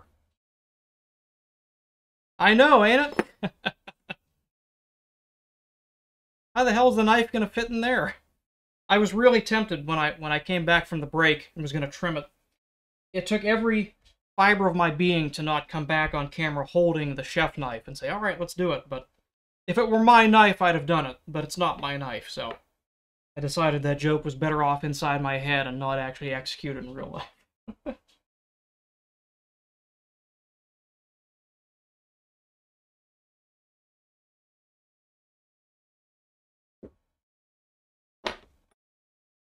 So we're almost, almost done punching the stitching holes. Just got to tighten up. Basically, we've got all the sides done. We just need to do the two corners on this side here, and that's that.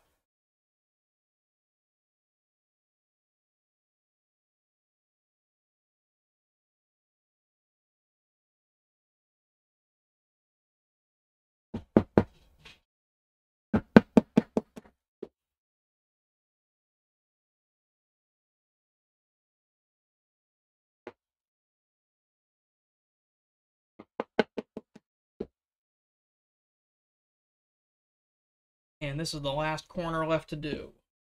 Hooray! We're not done making noise yet, though. There's still more noise to be made.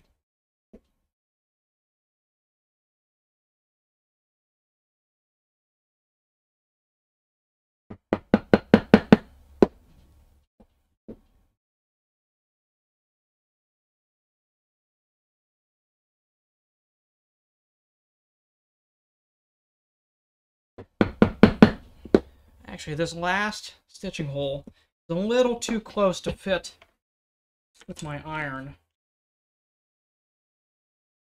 So I'm going to finish this final last hole with my awl.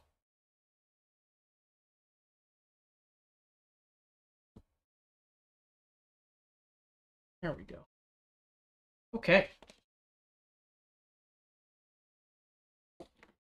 Put the uh, chisels away.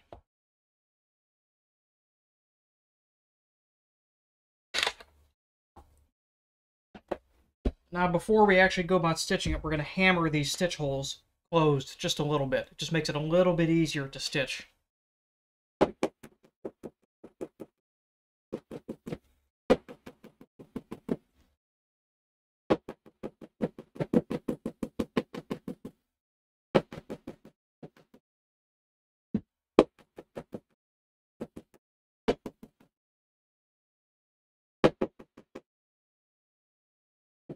Okay.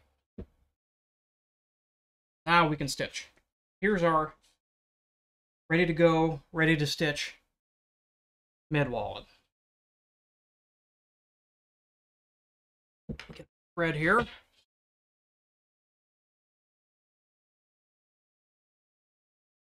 Don and I had chosen during our talks this nice kind of steel gray thread. And it's very, like I said, as you can see on the center here, it, it almost seamlessly blends in. And we'll get just a hint of it against the black. And again, just a hint of it on the outside against the white and the black out there. I'm excited to see how this looks all done. General rule of thumb with stitching and with thread length is four times the length of the perimeter is usually enough. And when you're at this kind of thickness, at three millimeter stitch spacing, you know, not a whole lot more than an eighth of an inch thick on the outside, that almost always works. I usually give myself a little bit extra just because obviously having more is better than having less. But usually four times the length is enough. So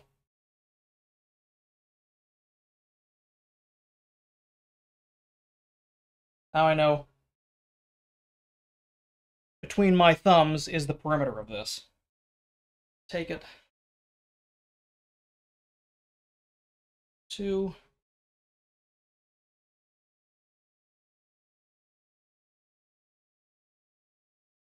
Four. And a little couple inches extra. Come on now. There we go. That's our thread. Heard some absurdities of people weighing the amount of thread just to figure out material cost and things like that. I think that takes it a little far.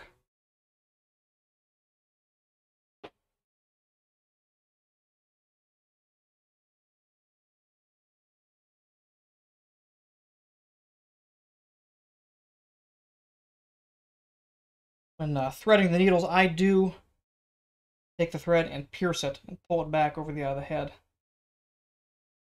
Everybody seems to have their own way of doing this, but that's the way I like to do it. Find that it does not add too much additional resistance.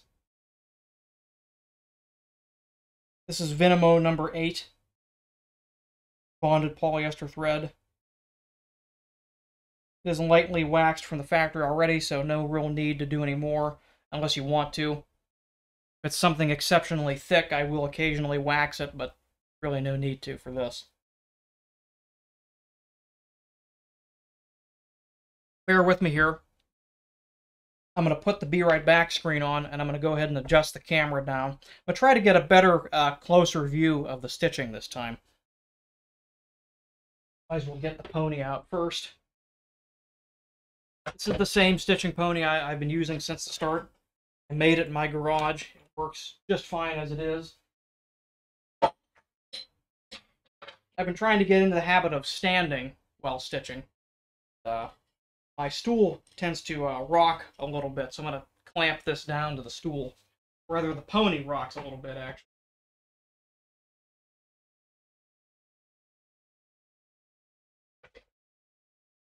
So, yes, this is potentially the most inelegant of stitching setups, but it does work. So.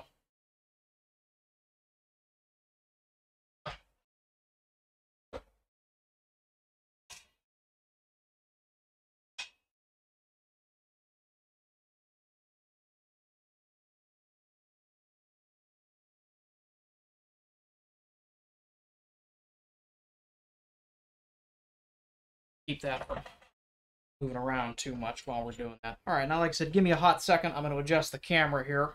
Bear with me.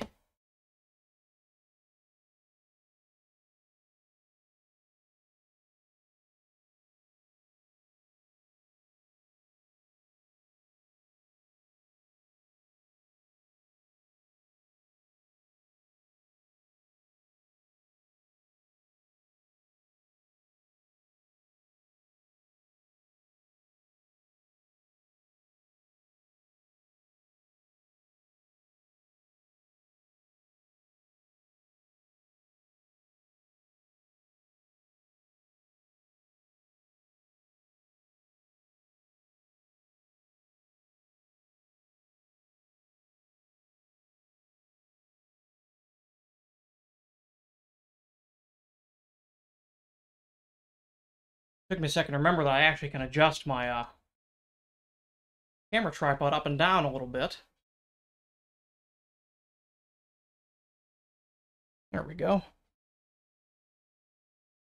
All right. You can see I'm repping Ben Geisler today. He sent me a couple of these shirts and ended up being one of my favorite shirts. So, a question of where to start the stitch where would you want to start and end it on this? I generally choose to do it at a place where there will be the least resistance. And on these wallets, that's going to be at the very bottom of the card slot. There's not a lot of outward tension that gets put on that. Yes, you'll get cards built up down there, but versus like here or up here, not a lot of outward pull gets put to this place. So this is a good place to end and also start the stitch. This is a 24 ounce Barry King tapered maul. I like the mauls versus the hammer because there is no indexing needed. No matter how you pick it up, it is always on a striking surface. Whereas with a maul, you'd occasionally have to, you could pick it up and be holding it at a 90 degree angle, and you'd have to stop and adjust it. With that, you just pick it up and you go.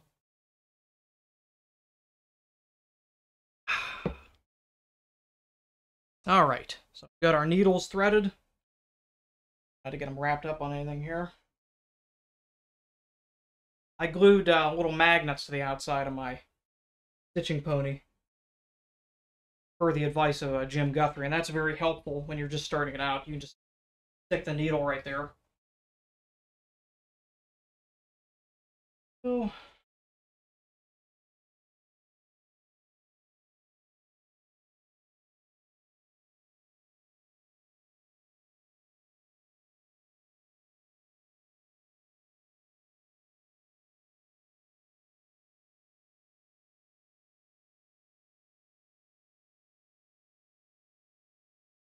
After that first stitch, I'll always double check again and make sure that I haven't pulled thread out of alignment. Yep, I've got the same length on both sides. That, we can begin rocking and rolling. So there was a question earlier about um, do your pricking irons matter as much when it comes to the quality of your stitch? And I think beyond getting this is gonna is gonna be a little difficult. You want a good set of pricking irons, but there are a lot of out, there are a lot of them out there that are good and inexpensive. Uh, a lot of people talk about the Kevin Lees or the KS Blade punches. Those are certainly the nicest of the nice, but you can still do nice work without them. Uh, these pricking irons here, from like I said, from Jun Lin, I would argue are probably more middling. Uh, I'd say maybe a Buick instead of a Cadillac, and I make everything with them. Um, I would challenge anybody to find the difference between you know my stitches and someone using something from Kevin Lee or something you know a, a set of pricking irons double the price of these. I think it comes down to the user. Uh, this was always something that came up with uh, painting cars. People would talk about, oh, I got this nice paint gun, and this paint gun does this, and this paint gun does that. And it, what matters more than the paint gun is the painter. What matters more than the pricking irons is the leather worker being consistent. You can make a good, clean, consistent stitch with cheap irons from Tandy if you just take the time to do it. So people get all up in arms by using these irons over that irons, and it, I think if everybody just practiced a little bit more, you'd be surprised what you could do with very inexpensive tools. I came up with my brand. Thank you for asking, uh, James. Are, is you, are you the fellow with the popcorn from around here? Is this James Marvelous Popcorn? I hope it is. I came up with my brand as a joke. That's that's the God's honest truth. It started as a joke. Um, I'm a big history nerd. I grew up uh, very fortunate that my grandfather lived next door to me on my mother's side. And uh, he was a World War II veteran. He served in the Navy. He enlisted uh, immediately after Pearl Harbor, and he served in the Pacific War. So I grew up on his knee, just drinking in all of his stories about about the war and about everything, and that really set me on a path. I, am a big history nut, in particular, you know, military history, naval history, things like that. So all my life, I have been just absolutely dedicated to learning as much as I can about that. And I kind of got into uh, my my interests have shifted, you know, from World War II, what he was into, World War One, and to you know back further and further. And uh, HMS Dreadnought is an interesting piece of history. It's the first modern battleship, as we understand it, and it's a it's a very fascinating story behind it that is far too long to talk about today. But I I, I find those ships very interesting. They occupy a very unique portion of history and they serve a very important place in it. And as, as, I just started on leatherwork, I think I'd only been doing it for maybe a month. I was sitting at my computer one night and I, I designed the logo, the Dreadnought logo. Again, more as a joke than anything else because I certainly wasn't making anything that was worth selling at that point. Certainly nothing worth putting a name to. And I, I showed it to my brother he said something that stuck with me. I he he always laughs at how I remember this, but this has stuck with me through the years. I showed him that logo, and he said, you know, I told him, yeah, it's, a, it's quite it's quite a joke. You know, I'm I've got this logo made for this business that doesn't exist, for these products that I don't know how to make yet. He said, well, maybe it's something to live up to, and I thought that was interesting. Uh, that was important to me. That stuck with me. I decided, you know what, this is something maybe I could live up to it. Maybe I could become good enough to where this logo is not a joke. Maybe this logo could mean something someday if I work hard enough at it. And so I, I did. I, I started and tried. Uh, much to my surprise, here we find ourselves today. Oh, thank you for joining. I'm, I'm glad uh, I know it's a little uh, not late, but it's certainly not early there yet. But uh, in the 50s, what did he do in the Navy? I'm always interested to hear stories from the Navy. My other brother uh, was a submariner. He actually rose, he enlisted and rose through the ranks until he, he left the Navy after 10 years of service. He made chief, which is quite a big deal. Chiefs really are, are the people who run the Navy. So that was, uh, I'm, I'm incredibly proud of him for that he always laughs at me for bringing it up, but he gave me a set of uh, keep him down here. This is a set of dolphins that he gave me. These are they're difficult to acquire the right way. You can buy them on eBay, and he just gave me his. But to actually acquire them in the Navy, they're a little tricky to get. So I was very very honored that he would give me a set of them. I keep those open on my on my bench here. My grandfather was uh, that he was in the Pacific. He was on the destroyer escort, USS Wileman DE-22. And like me, he was a short little guy. He was malnourished from the Navy. They wouldn't take him on enlistment day. He was so underweight, which was a you know quite a quite a big problem during the Depression. They turned a lot of guys away, and they sent him home. And he always says, "I went home, and my my mother served me two big bowls of spaghetti and I went back and I just made the weight and they took me in. And he joined the Navy because he would get three meals a day. Living in the Depression, uh, his father had died in the mill. He was killed in a mill accident. It was just his mother, and he had four. Wait a minute. Yeah, he had four brothers. There were five of them. They had his mother was left alone with five young boys. I think the oldest was his uh, his brother Frank. I think he was only 12 or 13 when when father died. And she had to take care of him and raise him. So during the depression, that was pretty tough. They were always hungry. They were never they were never fed enough. So all of them were a little underweight. But interestingly enough, all five of them joined the Navy. And there's actually a, a newspaper article we have hanging in our basement showing that because it was was kind of a notable event that they would all go there. Now in 1943, Guadalcanal had just happened, and the Sullivan brothers, uh, very unfortunately and famously, were all killed on the same ship. So right at that point, the Navy decided that they would no longer put siblings on the same boats. They parceled them all out to different ships in different places. Some went to the Pacific, and I think one of them even served in the Atlantic for a little bit. But that was his story. And he ended up as a motor machinist's mate, first class, working in the engine room. Uh, they had given him a choice of going on submarines or on destroyer escorts, and my grandfather was very claustrophobic, so he chose not to go on the submarine, and still ended up below decks in the engine room, but it was still better than being under the water all the time, even though technically in his spot he was still under the water. A diver, I'll be damned, that's fascinating. My my father-in-law would love to talk to you. He's a big he's a recreational diver. But uh thank you for, thank you for your service even across the pond there. It's always nice to meet uh meet people who do the thing that I'm interested in. Diving is uh, is an interesting thing. It's something I have no desire to do because it frightens me. I respect anybody uh anybody bold enough to willingly go down there in that capacity. It's quite a big deal.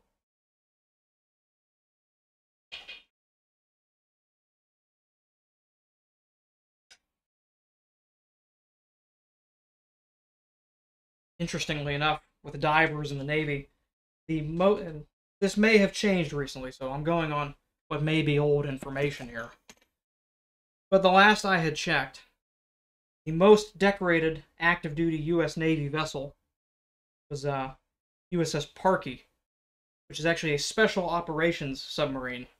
And in the uh, late 80s and 90s, or not in the 90s, but I'm sorry, the late 70s and 80s, uh, USS Parche was one of the boats involved in a top secret operation called Operation Ivy Bells. And that was involving tapping of undersea communications lines uh, for the Soviet Union, I, I, believe the Sea of Okhotsk. And they actually trained divers to go down. Uh, if you've seen the movie The Abyss, they do what's called saturation diving. Well, these guys did it, and that's where The Abyss kind of got the idea for it. Uh, they would go down to extreme depths and work and uh, basically place a nuclear powered cable tap to just directly listen into and record Soviet uh, naval traffic there. And they got away with this for many years. And uh, these boats were, were continuously issued, you know, presidential unit citations and, and special awards and things like that that were classified for many years, and nobody knew why they kept getting them. Uh, but uh, as it became declassified in the 90s, uh, we learned about it. And the colloquial term for these divers on the boats who would go out and do this, uh, the crewmen of the ships simply called them heroes. I think is very apt. I have never thought much about my left hand or right hand pulls. I really don't think about it at all. I don't think they're different. Needle got stuck underneath my chair.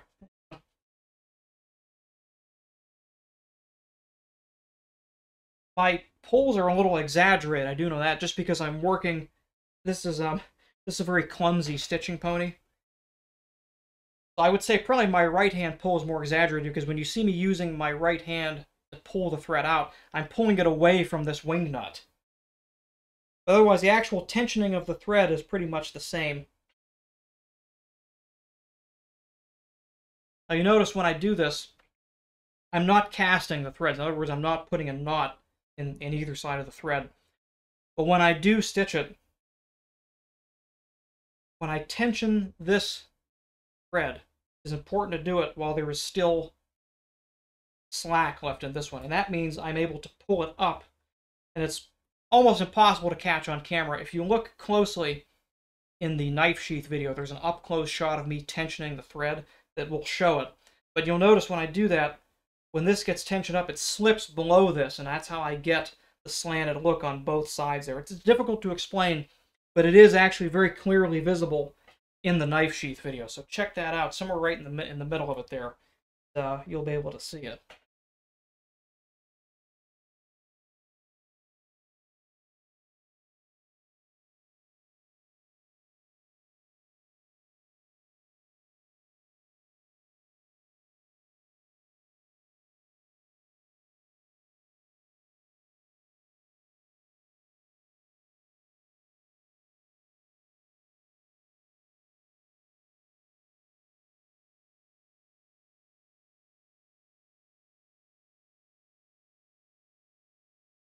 Little, little careless with flinging my needles around like that.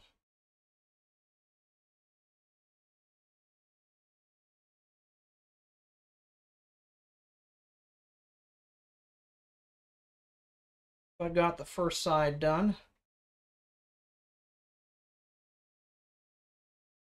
And as expected on the exterior, you really, you can barely see it back there. It blends in very, very nicely. It's there if you look for it, but you'd have to look for it. I think we just about nailed every color decision on this wall, and I'm happy. Happy with that.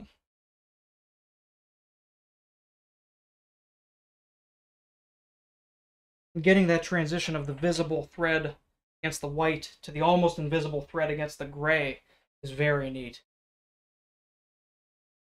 I've never done a, a wallet that was quite like this one.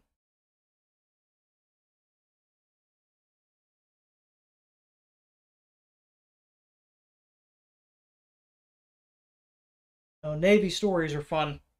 My grandfather has a good one that he would always tell about uh, so my grandfather is Italian. He a first generation Italian. And early in the in the Second World War, we know that we were, of course, fighting the Italians. And so he unfortunately got a lot of trouble from some of his shipmates for that. Uh, in particular, from a fellow by the name of Joe Grotz, would always bully him. And they would get into frequent arguments about uh, him calling my grandfather, you know, Mussolini, and then he, my grandfather would shoot back because Joe Grotz was naturally of German descent. My grandfather would answer back, Heil Hitler, and they would both get pretty upset with each other. And it finally came to a point where it reached blows, and they broke them up. And the way they settled disputes on board their ship was they would go back to the fantail, and they had a pair of boxing gloves that the chief kept. And uh, they would, you know, form a ring of the guys, and you would box it out. You were, they were not going to tolerate this kind of mess on the ship you were going to deal with it. So it came to a point where he and Joe Grotz got into it, and they broke them up, and they they ordered, well, we're going to settle we're going to settle trial by combat. You guys are going to box each other. And my grandfather, like I said, is small like me, and he was still, you know, coming out of the depression. He was underweight, so he was not very strong. And Joe Grotz was a bigger guy, so he was a little. He was not looking forward to fighting Joe Grotz. But my grandfather positioned himself near one of the hatches that went down below decks, and he could hear them down there trying to find the boxing gloves. And he very quickly uh, sussed out that they were not able to find them, and they were searching frantically to try to find the boxing gloves. So hearing that, he made an educated guess that this fight was probably not going to happen. So he started talking tough and say, "Where is this guy? I'm gonna, where are these boxing gloves? I'm gonna murder this guy. Where is he? Where, where are they? Find him down there." And he started acting up and he ended up intimidating poor Joe Grotz enough to where they, they finally called the fight off and they ordered them both to shake hands, which they did. And as happens quite often in these cases, he and Joe Grotz became very good friends and they, they were friends even out of the Navy. So it's just kind of funny how things like that happen. I started off making uh, wallets, big surprise.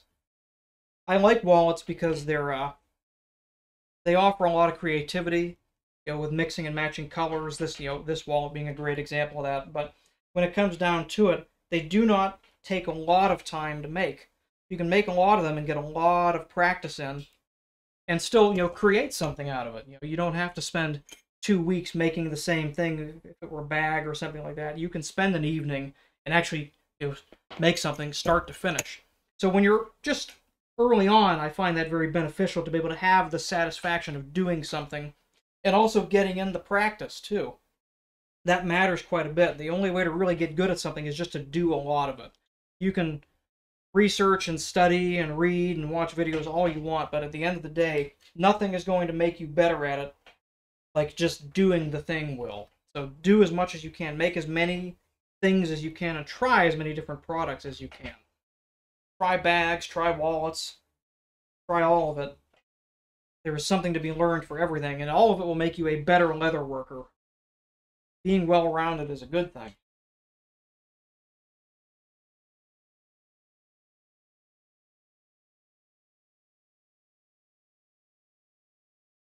One of these days I'll have to go through the bone pile of bad projects.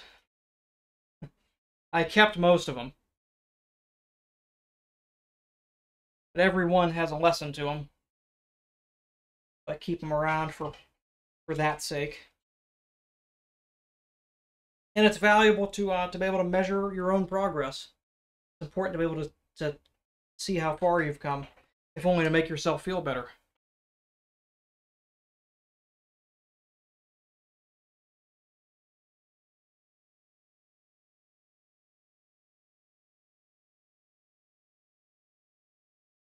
We're about a third of the way through stitching this now. Getting there. I think what I'd like to do, I think I'd like to get it completely stitched, edge creased. Then I'll do the painting off camera just because it isn't that exciting. But this way, at least at the end of this stream, for those of you who are bold or bored enough to stay around till the very end, you'll get to see the finished product at least, minus the edge paint.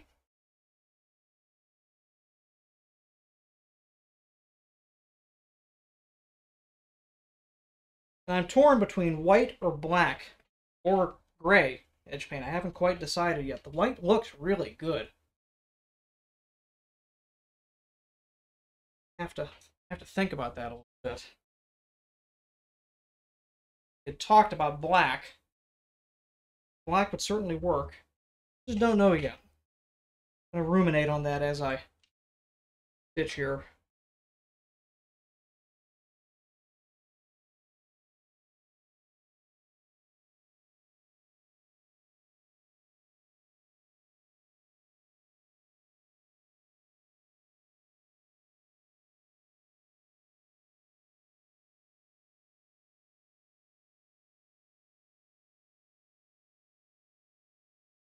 Drawing a blank for any more good Navy stories, but I'm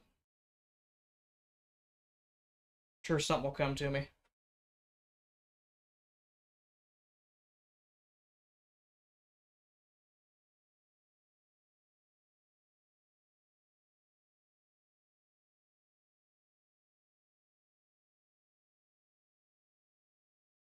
White is possible to stain, but with the gentleman carrying this wallet in particular.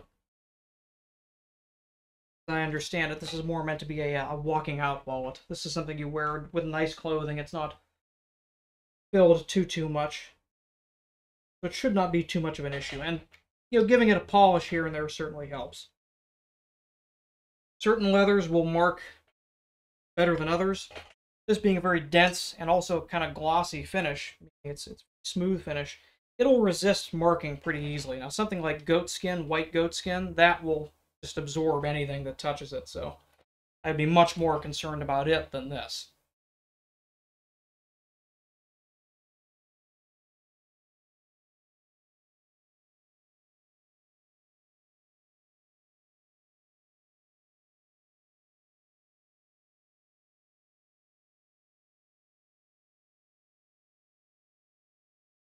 As expected, we have a nice, nice contrast against the black Dollaro in there.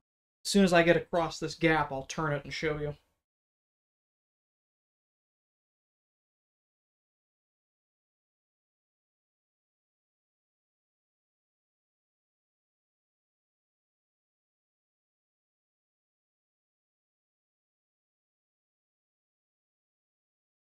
Getting the first half of the wallet stitch is always tricky just because usually the length of thread is longer than my arms can reach, so I'm kind of fighting that a little bit. But by the time we get around the halfway point, it becomes much more manageable in length. Kind of pick it up a little bit from there. I'm not having to drop the needle as much just to handle the thread.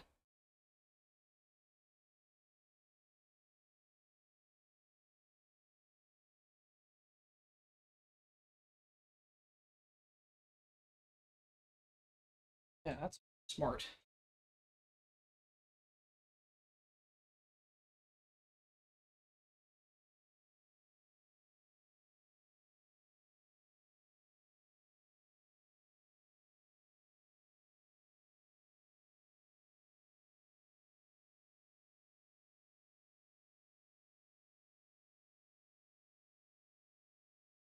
we can, oh,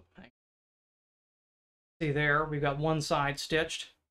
And how it just kind of blends into almost invisibility as it reaches that center there. And on the outside,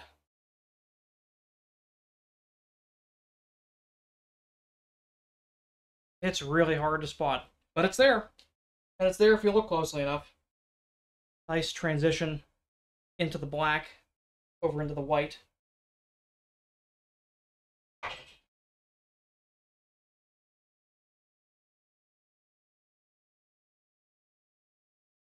Going to be a beauty to photograph.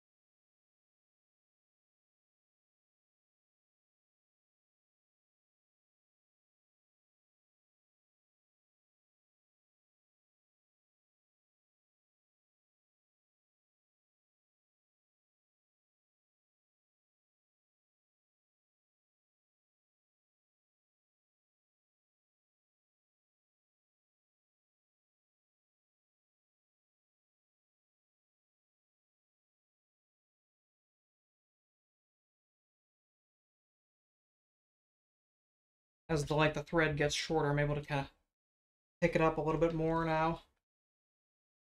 A little bit of delaminating on the top there. Usually comes about from pulling the pricking irons through. Work a bit of glue in there.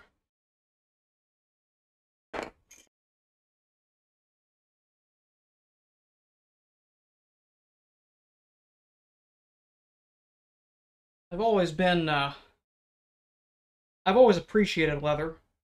It's a nice material. being a history nerd, kind of like things that are old, and leather is certainly one of those things that lasts a long time, so kind of get the mystique of that, you know, every everything tells a story, or so they say. But I really got into it um, because uh, moving into my, my home with my wife, then girlfriend at the time. We were trying to find some furnishings. I'm going to rethread my needle real quick just because that thread's getting a little frayed. We were looking for some furnishings and we found uh, a leather wall hanger for like storing letters and things like that. And uh, even not being a leather worker at the time, I was not impressed with the quality of it, especially considering the price they wanted for it. And I thought I could do better myself. I bought uh, I bought some tools and some very basic leather from Tandy. I went ahead and I did. I made I made two of the thing we wanted to get for the price of what they wanted for one of them. And I I was correct. I was able to make it nicer than they did, and we still have it. They still hang in my my hallway, and I put all my mail in it. And then I had a bunch of left of leather left over, and I had the tools left. And I was I was looking for a hobby at the time. I was kind of in between hobbies. I've done a lot of different things not not all of them productive like this. I was looking for a hobby that wouldn't make my wife mad, something that wouldn't collect a bunch of useless stuff. And she suggested, well, you know, you've got all these tools, you should maybe you should consider leatherworking. Maybe you can make some things that are that are that are neat, you know, use some things that we can use and well, you're right. So I did. I, I I looked into it on YouTube and on on the leatherworking subreddit and learned as much as I could and just started making things. And I found that um, I really liked it and I had an aptitude for it. it. Seemed to kind of be a mixture of all the things I liked, other hobbies of mine, you know, model making, all that stuff. A lot of those things kind of apply here, you know, the, the attention to detail, all that plays a part in how this is done. So I liked it. I enjoyed the hell out of it, and I kept doing it. And that was six years ago in February. Hard to believe how long it's been now, but kind of blows my mind a little bit to say that. I've usually not been able to stick with anything for more than a year or two. I get very interested in the thing and then I kind of fall out of it and loses the, the luster of the new thing and I move on to something else. But this one here, I, I made a conscious decision to stick with it. And it's as fun now as it was when I started. That's actually it's more fun because I get to I get to do some really off the wall things now. Couldn't do them.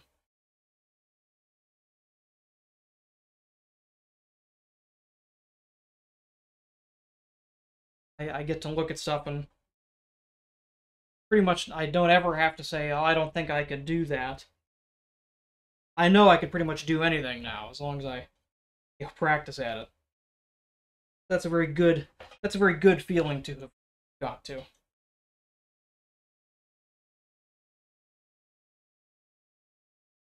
Feel very good about the things I make now. And I know that in another year or two I'm going to feel even better about them. I just don't know how yet. I always the big fear is you know reaching a plateau to where you aren't able to get any better. But it hasn't happened yet. I don't, I don't know that it ever will.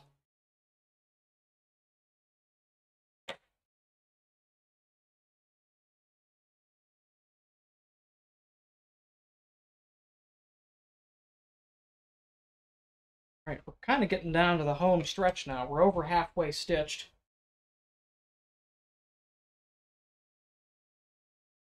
just this other side and then across part of the bottom.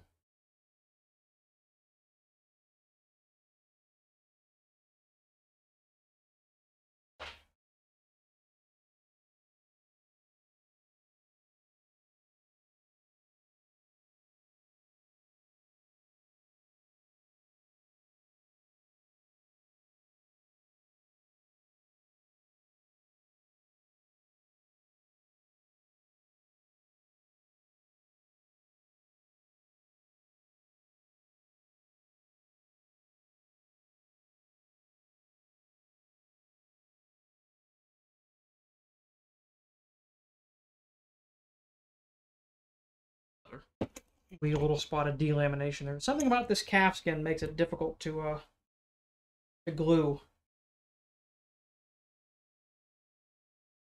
I think it's very dry. It kind of absorbs the glue before it really has a chance to set. It makes more sense in my head than it does when I say it, but that's my story and I'm sticking to it for the time being anyway.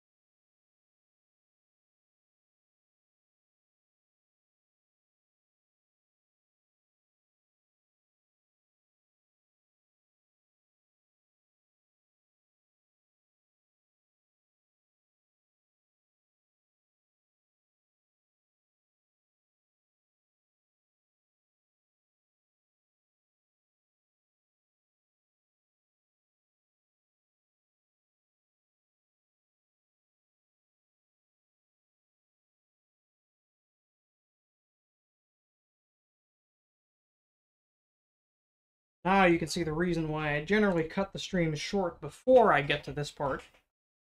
this isn't that exciting.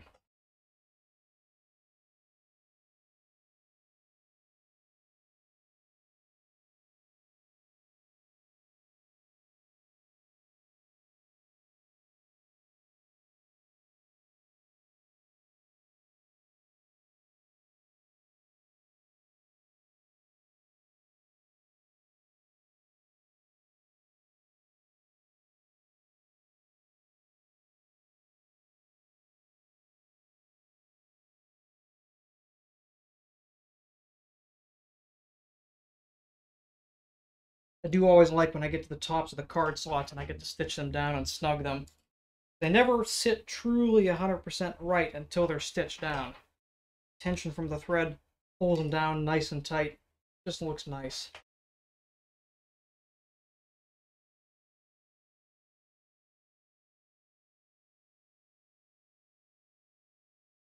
I do agree. I do, I do love stitching. It is one of the best parts, but it just is not. Uh, I don't know that there's any way to make it exciting other than to cut out about ninety percent of it.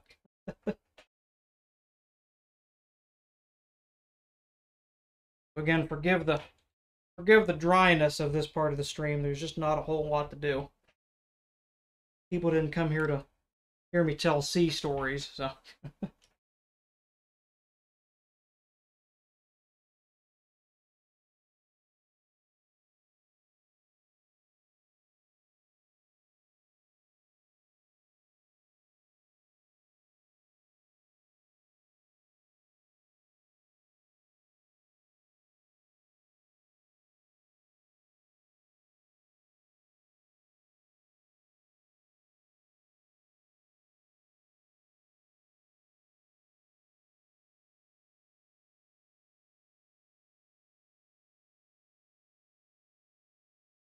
tamp down the inside edge, not the outside edge. Ingress versus egress. Because on the egress side, only the thinnest part of the tines are coming through there. On the interior side, part I'm stitching into, you're getting, in some cases, if something is exceptionally thick, almost the full width of the tine pushing those, those holes open. You really don't get much of that on the outside. Uh, so really, the, the biggest the biggest opening to close is on the interior rather than the exterior. And generally, yes, you do get a little bit of you know puckering and blowout on the outside, but generally, just striking the inside is enough to also close that up. I find that there's almost never a reason to, to hammer both sides. When I'm doing, uh, it depends on, on what layer I'm doing. So if I'm doing first kind of medium coat that I'm going to heat spread I usually will go all the way around the perimeter, or if it's again, you know, the final little thin coat that I'm doing with my fingertips, that I can do all around. But on, on those in those in-between coats, the ones that are very thick, I'll do those one edge at a time. Because it is so thick that if you if you don't hold it uh, you know, right side up or upside down directly, it will run.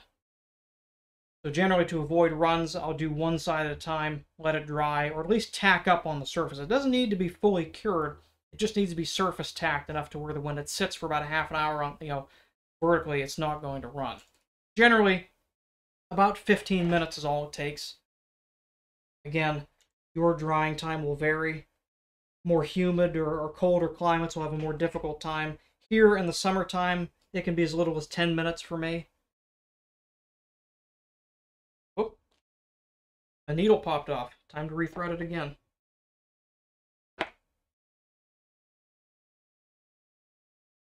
It's usually a good indication of how tough your material is. As if in the course of stitching you're able to wear through that little bit of thread you have holding your needle on. Lizard skin is particularly tough. But that's also why I give myself a little bit of extra just accounting for the fact that I may have to snip the thread off and rethread it here and there.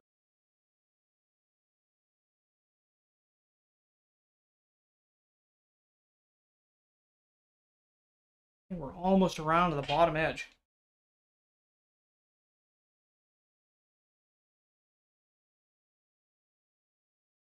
Start heating my fileteuse up. We're going to need it soon. Go, almost almost stitched. The gray was definitely a good choice. For as much black as we're using in this, a straight up black thread would have been just a little too much. The gray mutes it down just right and you get that nice contrast against the white. Not an excessive contrast.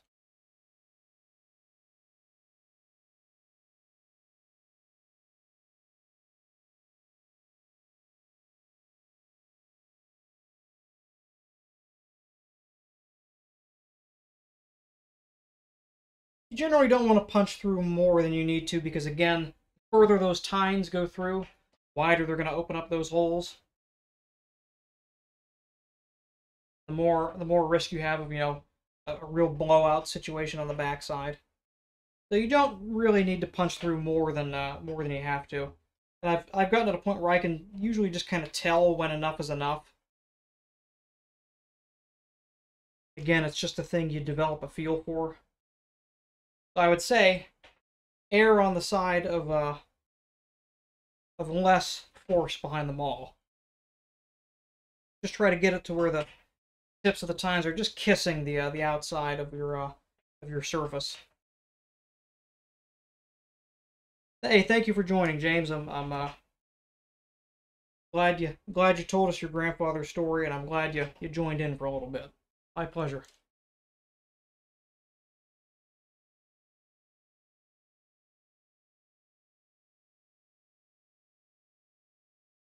Again, one more spot needing a little bit more glue in there.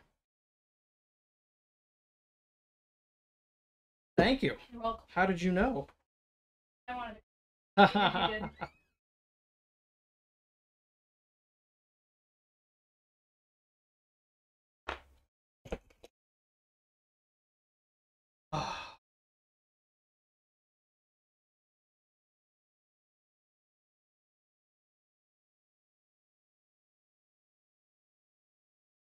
Ah, there's nothing like a good cup of tea.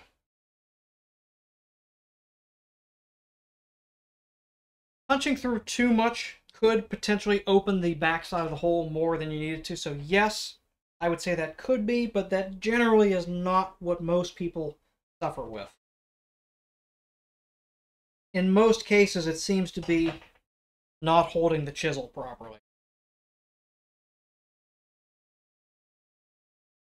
Either that or not doing a consistent stitch, not doing the same motion every time.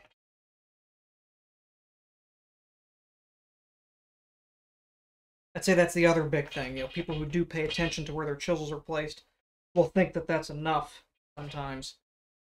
Not uh, you know, lose track of the actual of the stitch itself.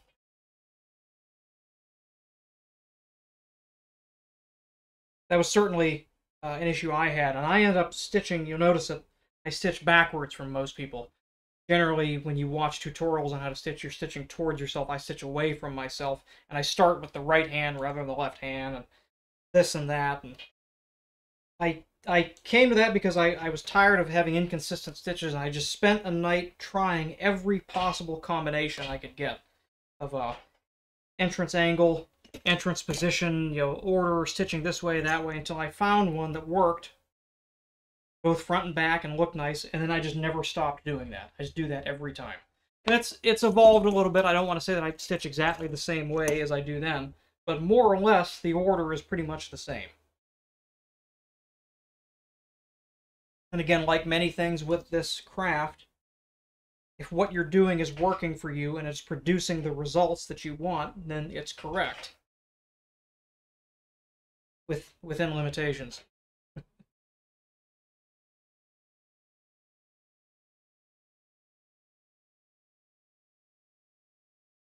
think by the time I finish stitching this, tea should be the perfect temperature.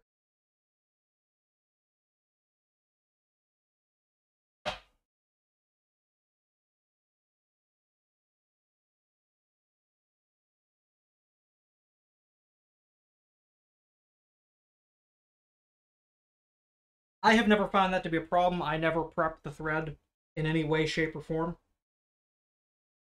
If you were doing something with a flat braided thread, that would definitely be a problem. But this, the Vinymo MBT, is round all around. So even in the cases where you do get a little bit of coiling, it is impossible to tell. And it is certainly impossible to tell once you hammer the stitches down.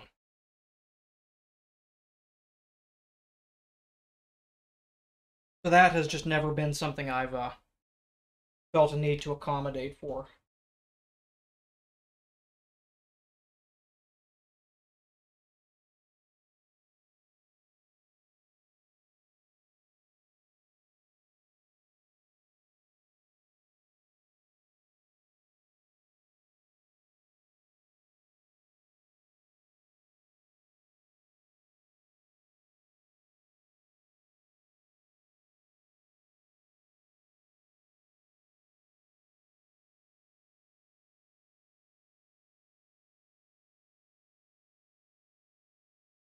I am just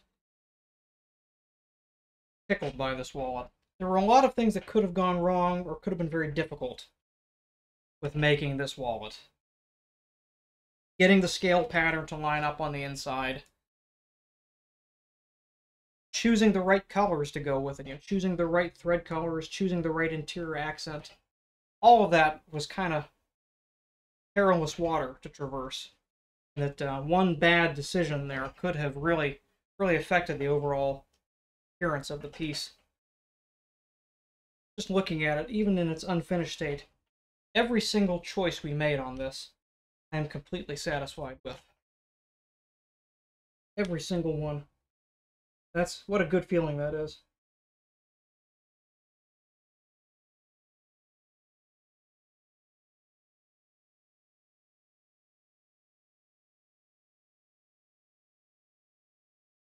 Little bit more glue than that.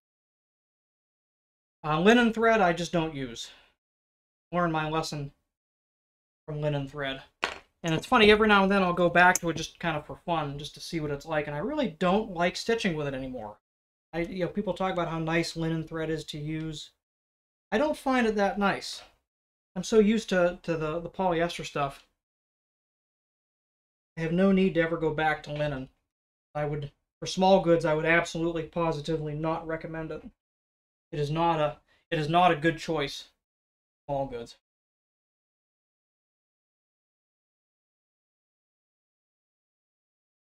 You would have to be exceptionally light on your wear for it not to uh, eventually wear through.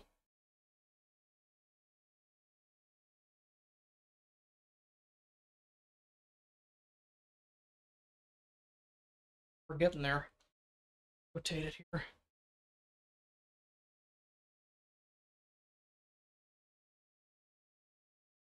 I don't know how much that you'll be able to see. Needles go. Oh, it blends in so well I couldn't even find my thread.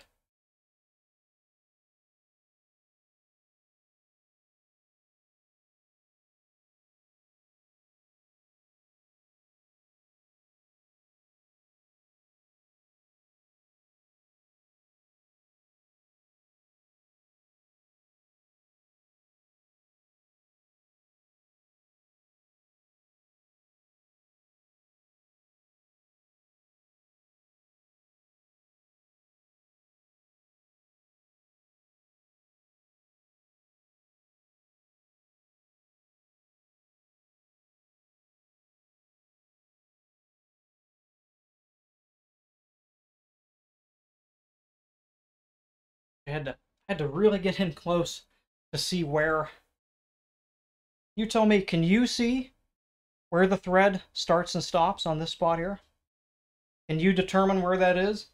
I'm having a hell of a time even being here.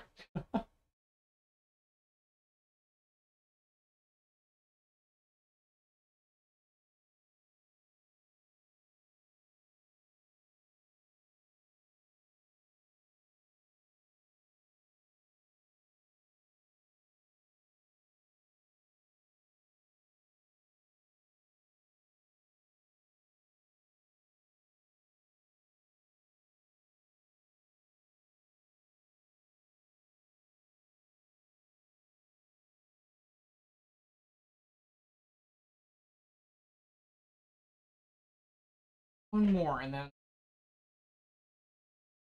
backstitch.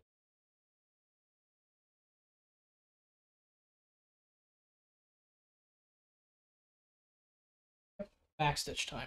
Okay.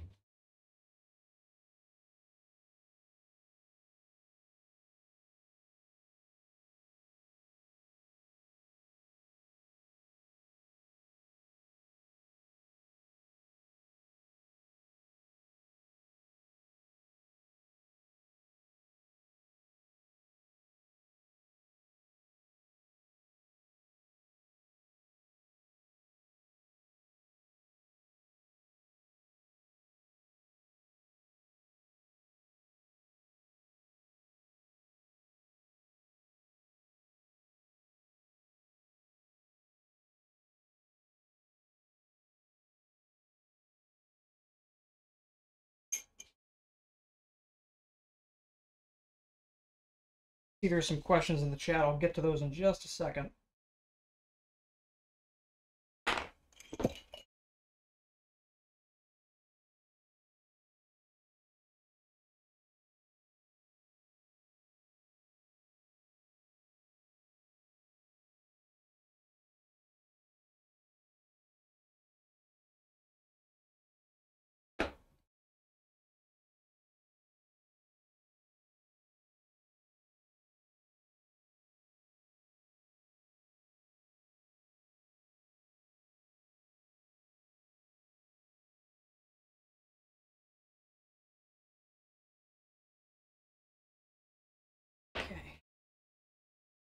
Again, as I always say, while that glue is still setting, and I hammer it home.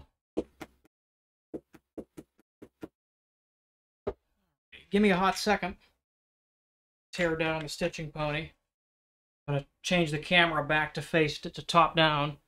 We'll hammer those stitches closed and then we'll crease it. And I think we'll call it a day at that. And we have a, other than edge painting, we have a finished wallet.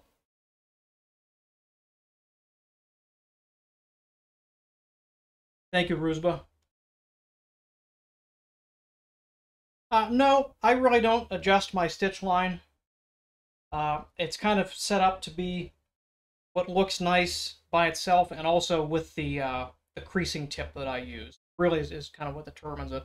So it generally is not an issue of the, uh, not a matter of the, uh, of the material or the thickness at all. It's more a matter of how far in do I want my crease to be.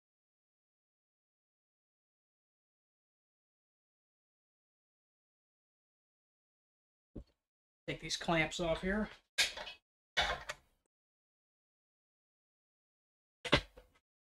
Again, a very a very inelegant solution, an elegant task.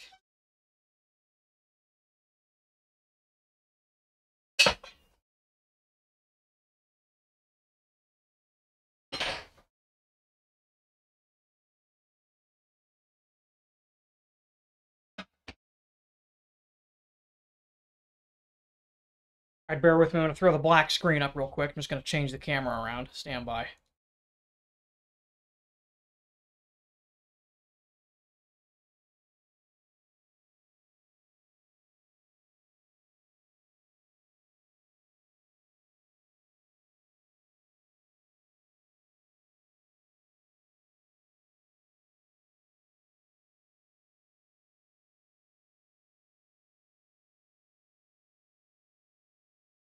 Think I did it upside down. I did. Hang on.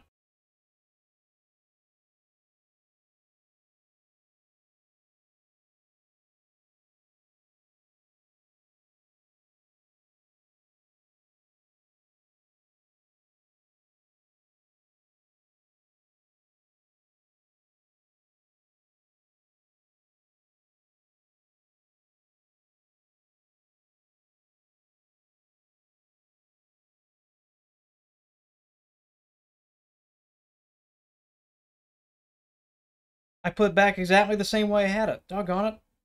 Oy, oy, oy.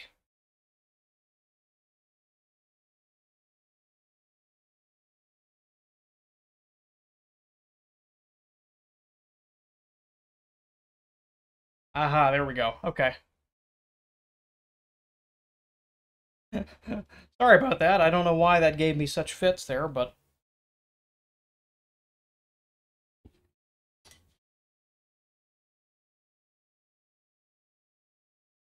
lease up my thread here.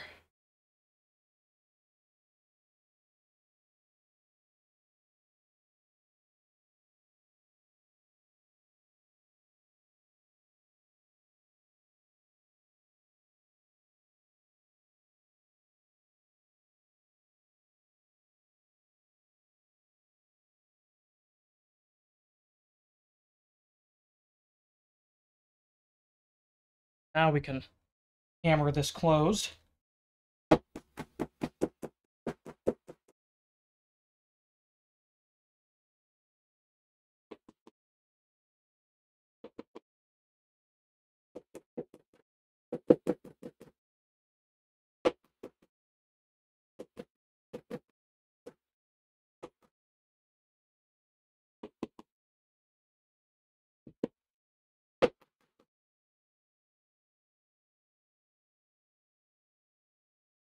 Oh yeah, that looks good.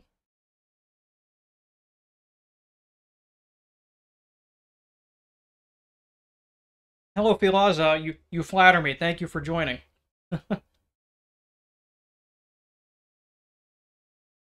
I didn't really start promoting my products uh, anywhere other than Reddit early on. I actually had to be convinced by a friend to make an Instagram, which ultimately ended up being a good choice. Uh, Instagram is a tricky one just because the uh, the algorithm is a little hard to decipher. But the biggest thing I can say is this: Instagram and most social media places seem to reward consistency. And that means posting every day or every other day. Uh, and that sounds like a lot, but it, it really is not. Uh, I'll, for example, I'll take pictures of this wallet and I'll maybe get eight or ten pictures of it. And in groups of two or three pictures, I'll get three to four days' time, sometimes longer, out of one project. So it's a matter of kind of getting past the idea of putting yourself out there and spacing it out and showing yourself off, uh, and doing that consistently. And, and doing good work helps a lot too. You know, do try to try to make things that people want to see, that people want to buy, and make them as nice as you possibly can. Doing them in, in bold but also tasteful colors helps. I guess just experiment. Just just keep keep trying. Keep doing different things and and keep sharing it. Even your failures, share everything. Do as much as you can. So I do Reddit, Instagram, and Facebook, and now YouTube as well. I'm close to getting, I think about 9,300 followers on Instagram, and I think I'm 70, 7,200 on YouTube. So 15, 16,000. Then divide that in half, considering most of them are probably bots. So a couple thousand at a pop, which is pretty good. I, I, am astonished that, that there are that many people who are interested in what I do. It, it's quite a, quite a remarkable thing. but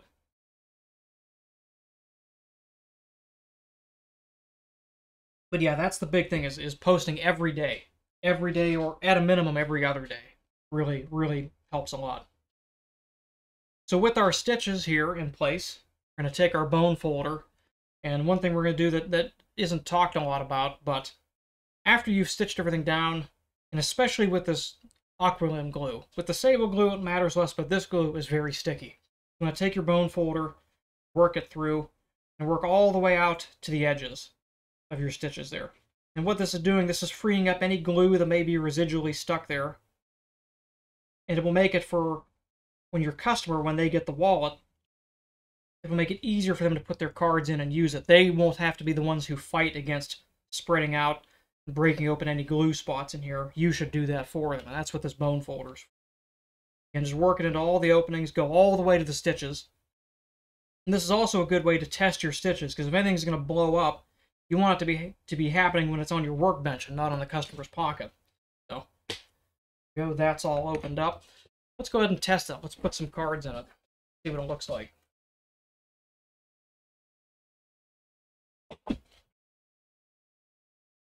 On fresh wallets, I always load the bottom card slot first, just because I find that it's, it's got a little bit of slack to it.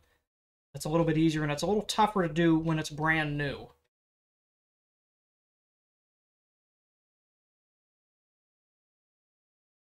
If you've just finished a wallet and you find that the card slots are a little stiff, don't worry. Put your cards in it and leave it in it overnight, clamped in your stitching pony, and it will open up. And it will open up in time as the customer uses it too. But that's one way you can kind of alleviate that. There we go, look at that. We just get that nice, somebody somebody called it an ink blot. That's exactly what it looks like with that. Boy, is that pretty. That is breathtaking.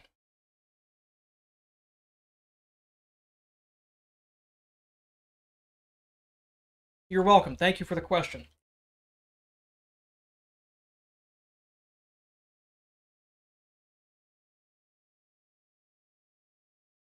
So with that all stitched, you remember earlier on after we cut the corners on it, we uh,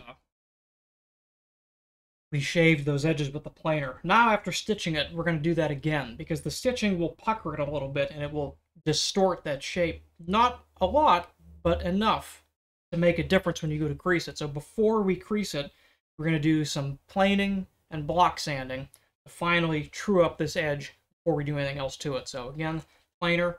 Nothing different from what we did before. We're just going to take it.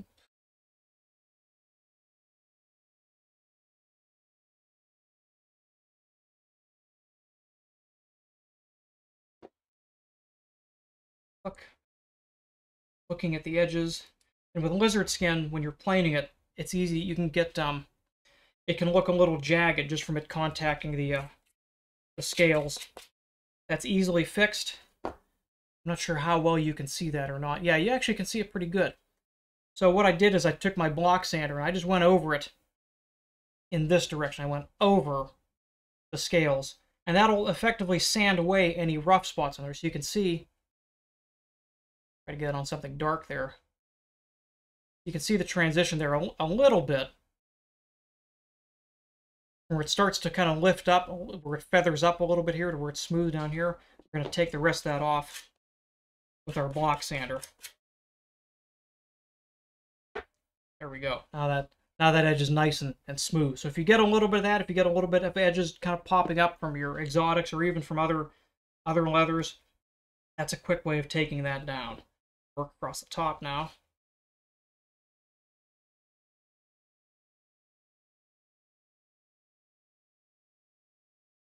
We don't need to take much down, just a little bit.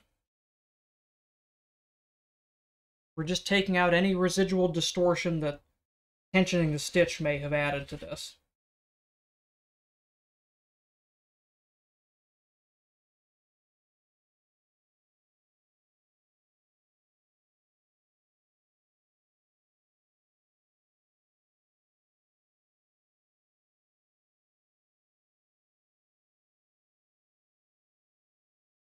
That should be enough. Now again, we're gonna we're gonna sand over it again. We're gonna take it on.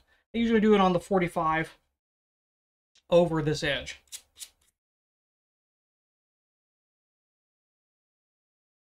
And a lot of times you can actually visibly see the areas that have lifted up. You can see them actually being taken away by the sandpaper.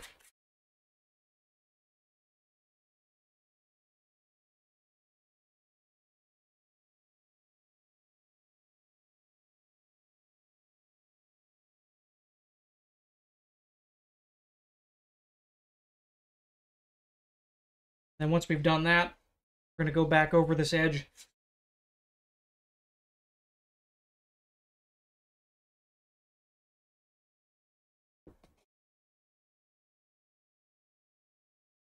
Just smoothing it out a little bit. Makes it easier for our, our creaser to glide over it. And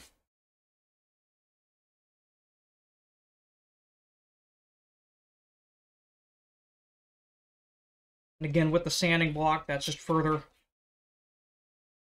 further truing up our surface.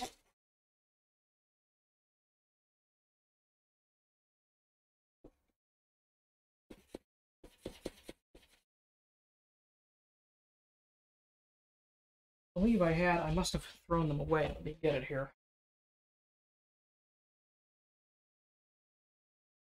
Perfect.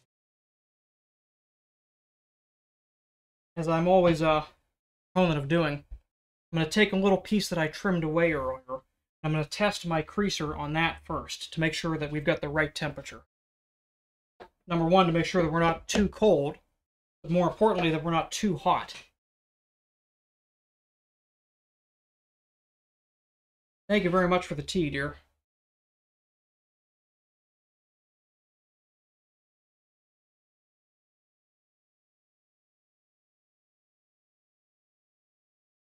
That's good. I'm able to kind of hold that in place for quite a long while without it distorting or burning anything. So I think we're at the right temperature. We can go ahead and start creasing this. So forgive me if I'm a little quiet while I'm doing this. This is something you really want to pay attention to while you're doing there.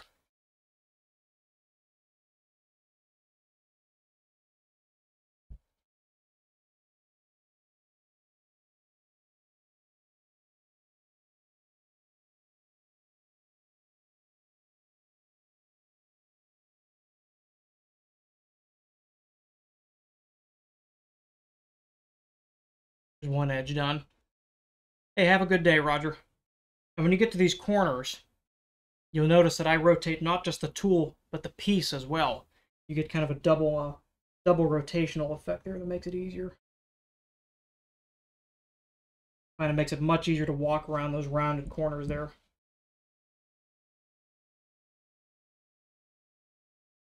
Now on, on exotics, these teeny tiny little flank scales up here are worth noting, especially when you're creasing, because nine times out of ten, they are much softer than other belly scales or things like that. So when you're going over with a creaser, there is a, a, strong tendency for the creaser to sink into it, and occasionally it can actually slip off the side there. So when you get to these little flank scales, pay close attention to what you're doing, because it is a it is a risky zone.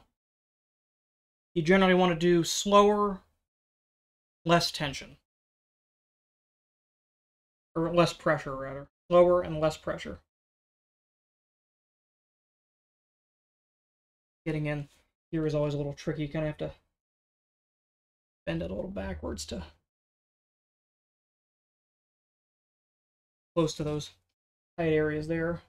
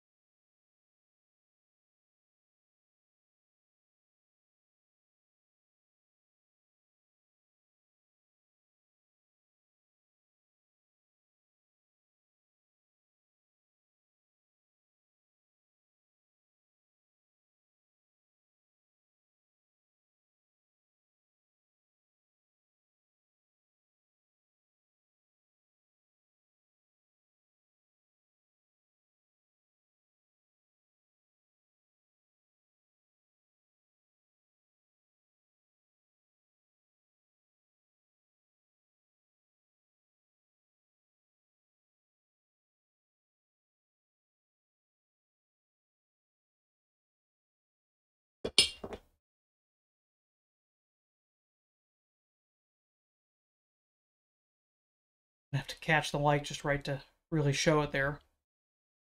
I always find that nothing really looks right until it has a crease on it. Let's do the outside real quick. We'll finish up the outside, we'll show it off for a hot minute, and then call it a day. For those of you who uh, who stuck through this, I, I, I greatly appreciate the comfort or not the comfort, the company, and I do value the, uh, the questions quite a lot. I, it, it is nice to have the interaction. I, I I value that extremely more than you could know. So thank you very much for taking the time out of your day to sit here with this old chunk of coal while I work. I realize it's not the most exciting fare. I value your uh, your company. Thank you very much.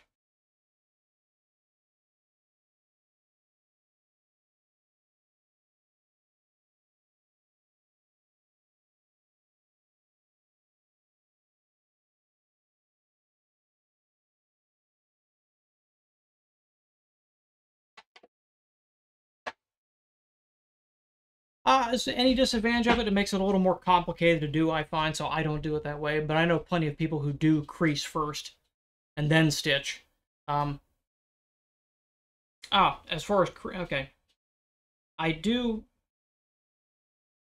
with creasing before stitching, like I just went around and did with the sanding and the, and the block planing of the edges there, if you're not exceptionally careful, or if you're using softer leathers, uh, the stitching will distort the crease line. So I always crease after stitching for that reason there. Uh, kit tools from Amazon, uh, they can work. I generally don't recommend them. Um, I'm not allowed to say too much, but I would advise you to wait a little bit if you're looking for for um, uh, for for a, a leatherworking kit. Can't tell you more than that, but just wait a little bit, be patient, and we'll see what happens there. But uh, the Amazon, the Amazon kit kits I generally would uh, would avoid. You're better off buying the, the tools individually. But with that said, here we have a, a good look at it. Let me turn it around. They always look a little nicer with the shadow coming across the tops of the uh, card slots, even if it's upside down. This is a... Uh, I would definitely not crease before punching. Punching will absolutely distort it, so no, I would definitely not do that. I would definitely crease after stitching and punching. I got uh, I got a little confused as to the nature of your question there, but no, crease after crease after stitching.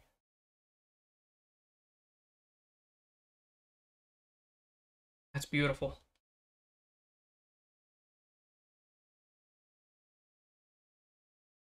Very, very nice and compact. Very thin. That's only an eighth of an inch thick at the outside edges there. I'm happy with that. What a what a remarkable looking wallet. I can't wait to take pictures of it. Keep an eye on my Instagram in the next couple of days here. I've still got to edge paint it, but I'm going to do that off camera just because it's just not that exciting. So a couple days here, I'll have it done, post some pictures of it.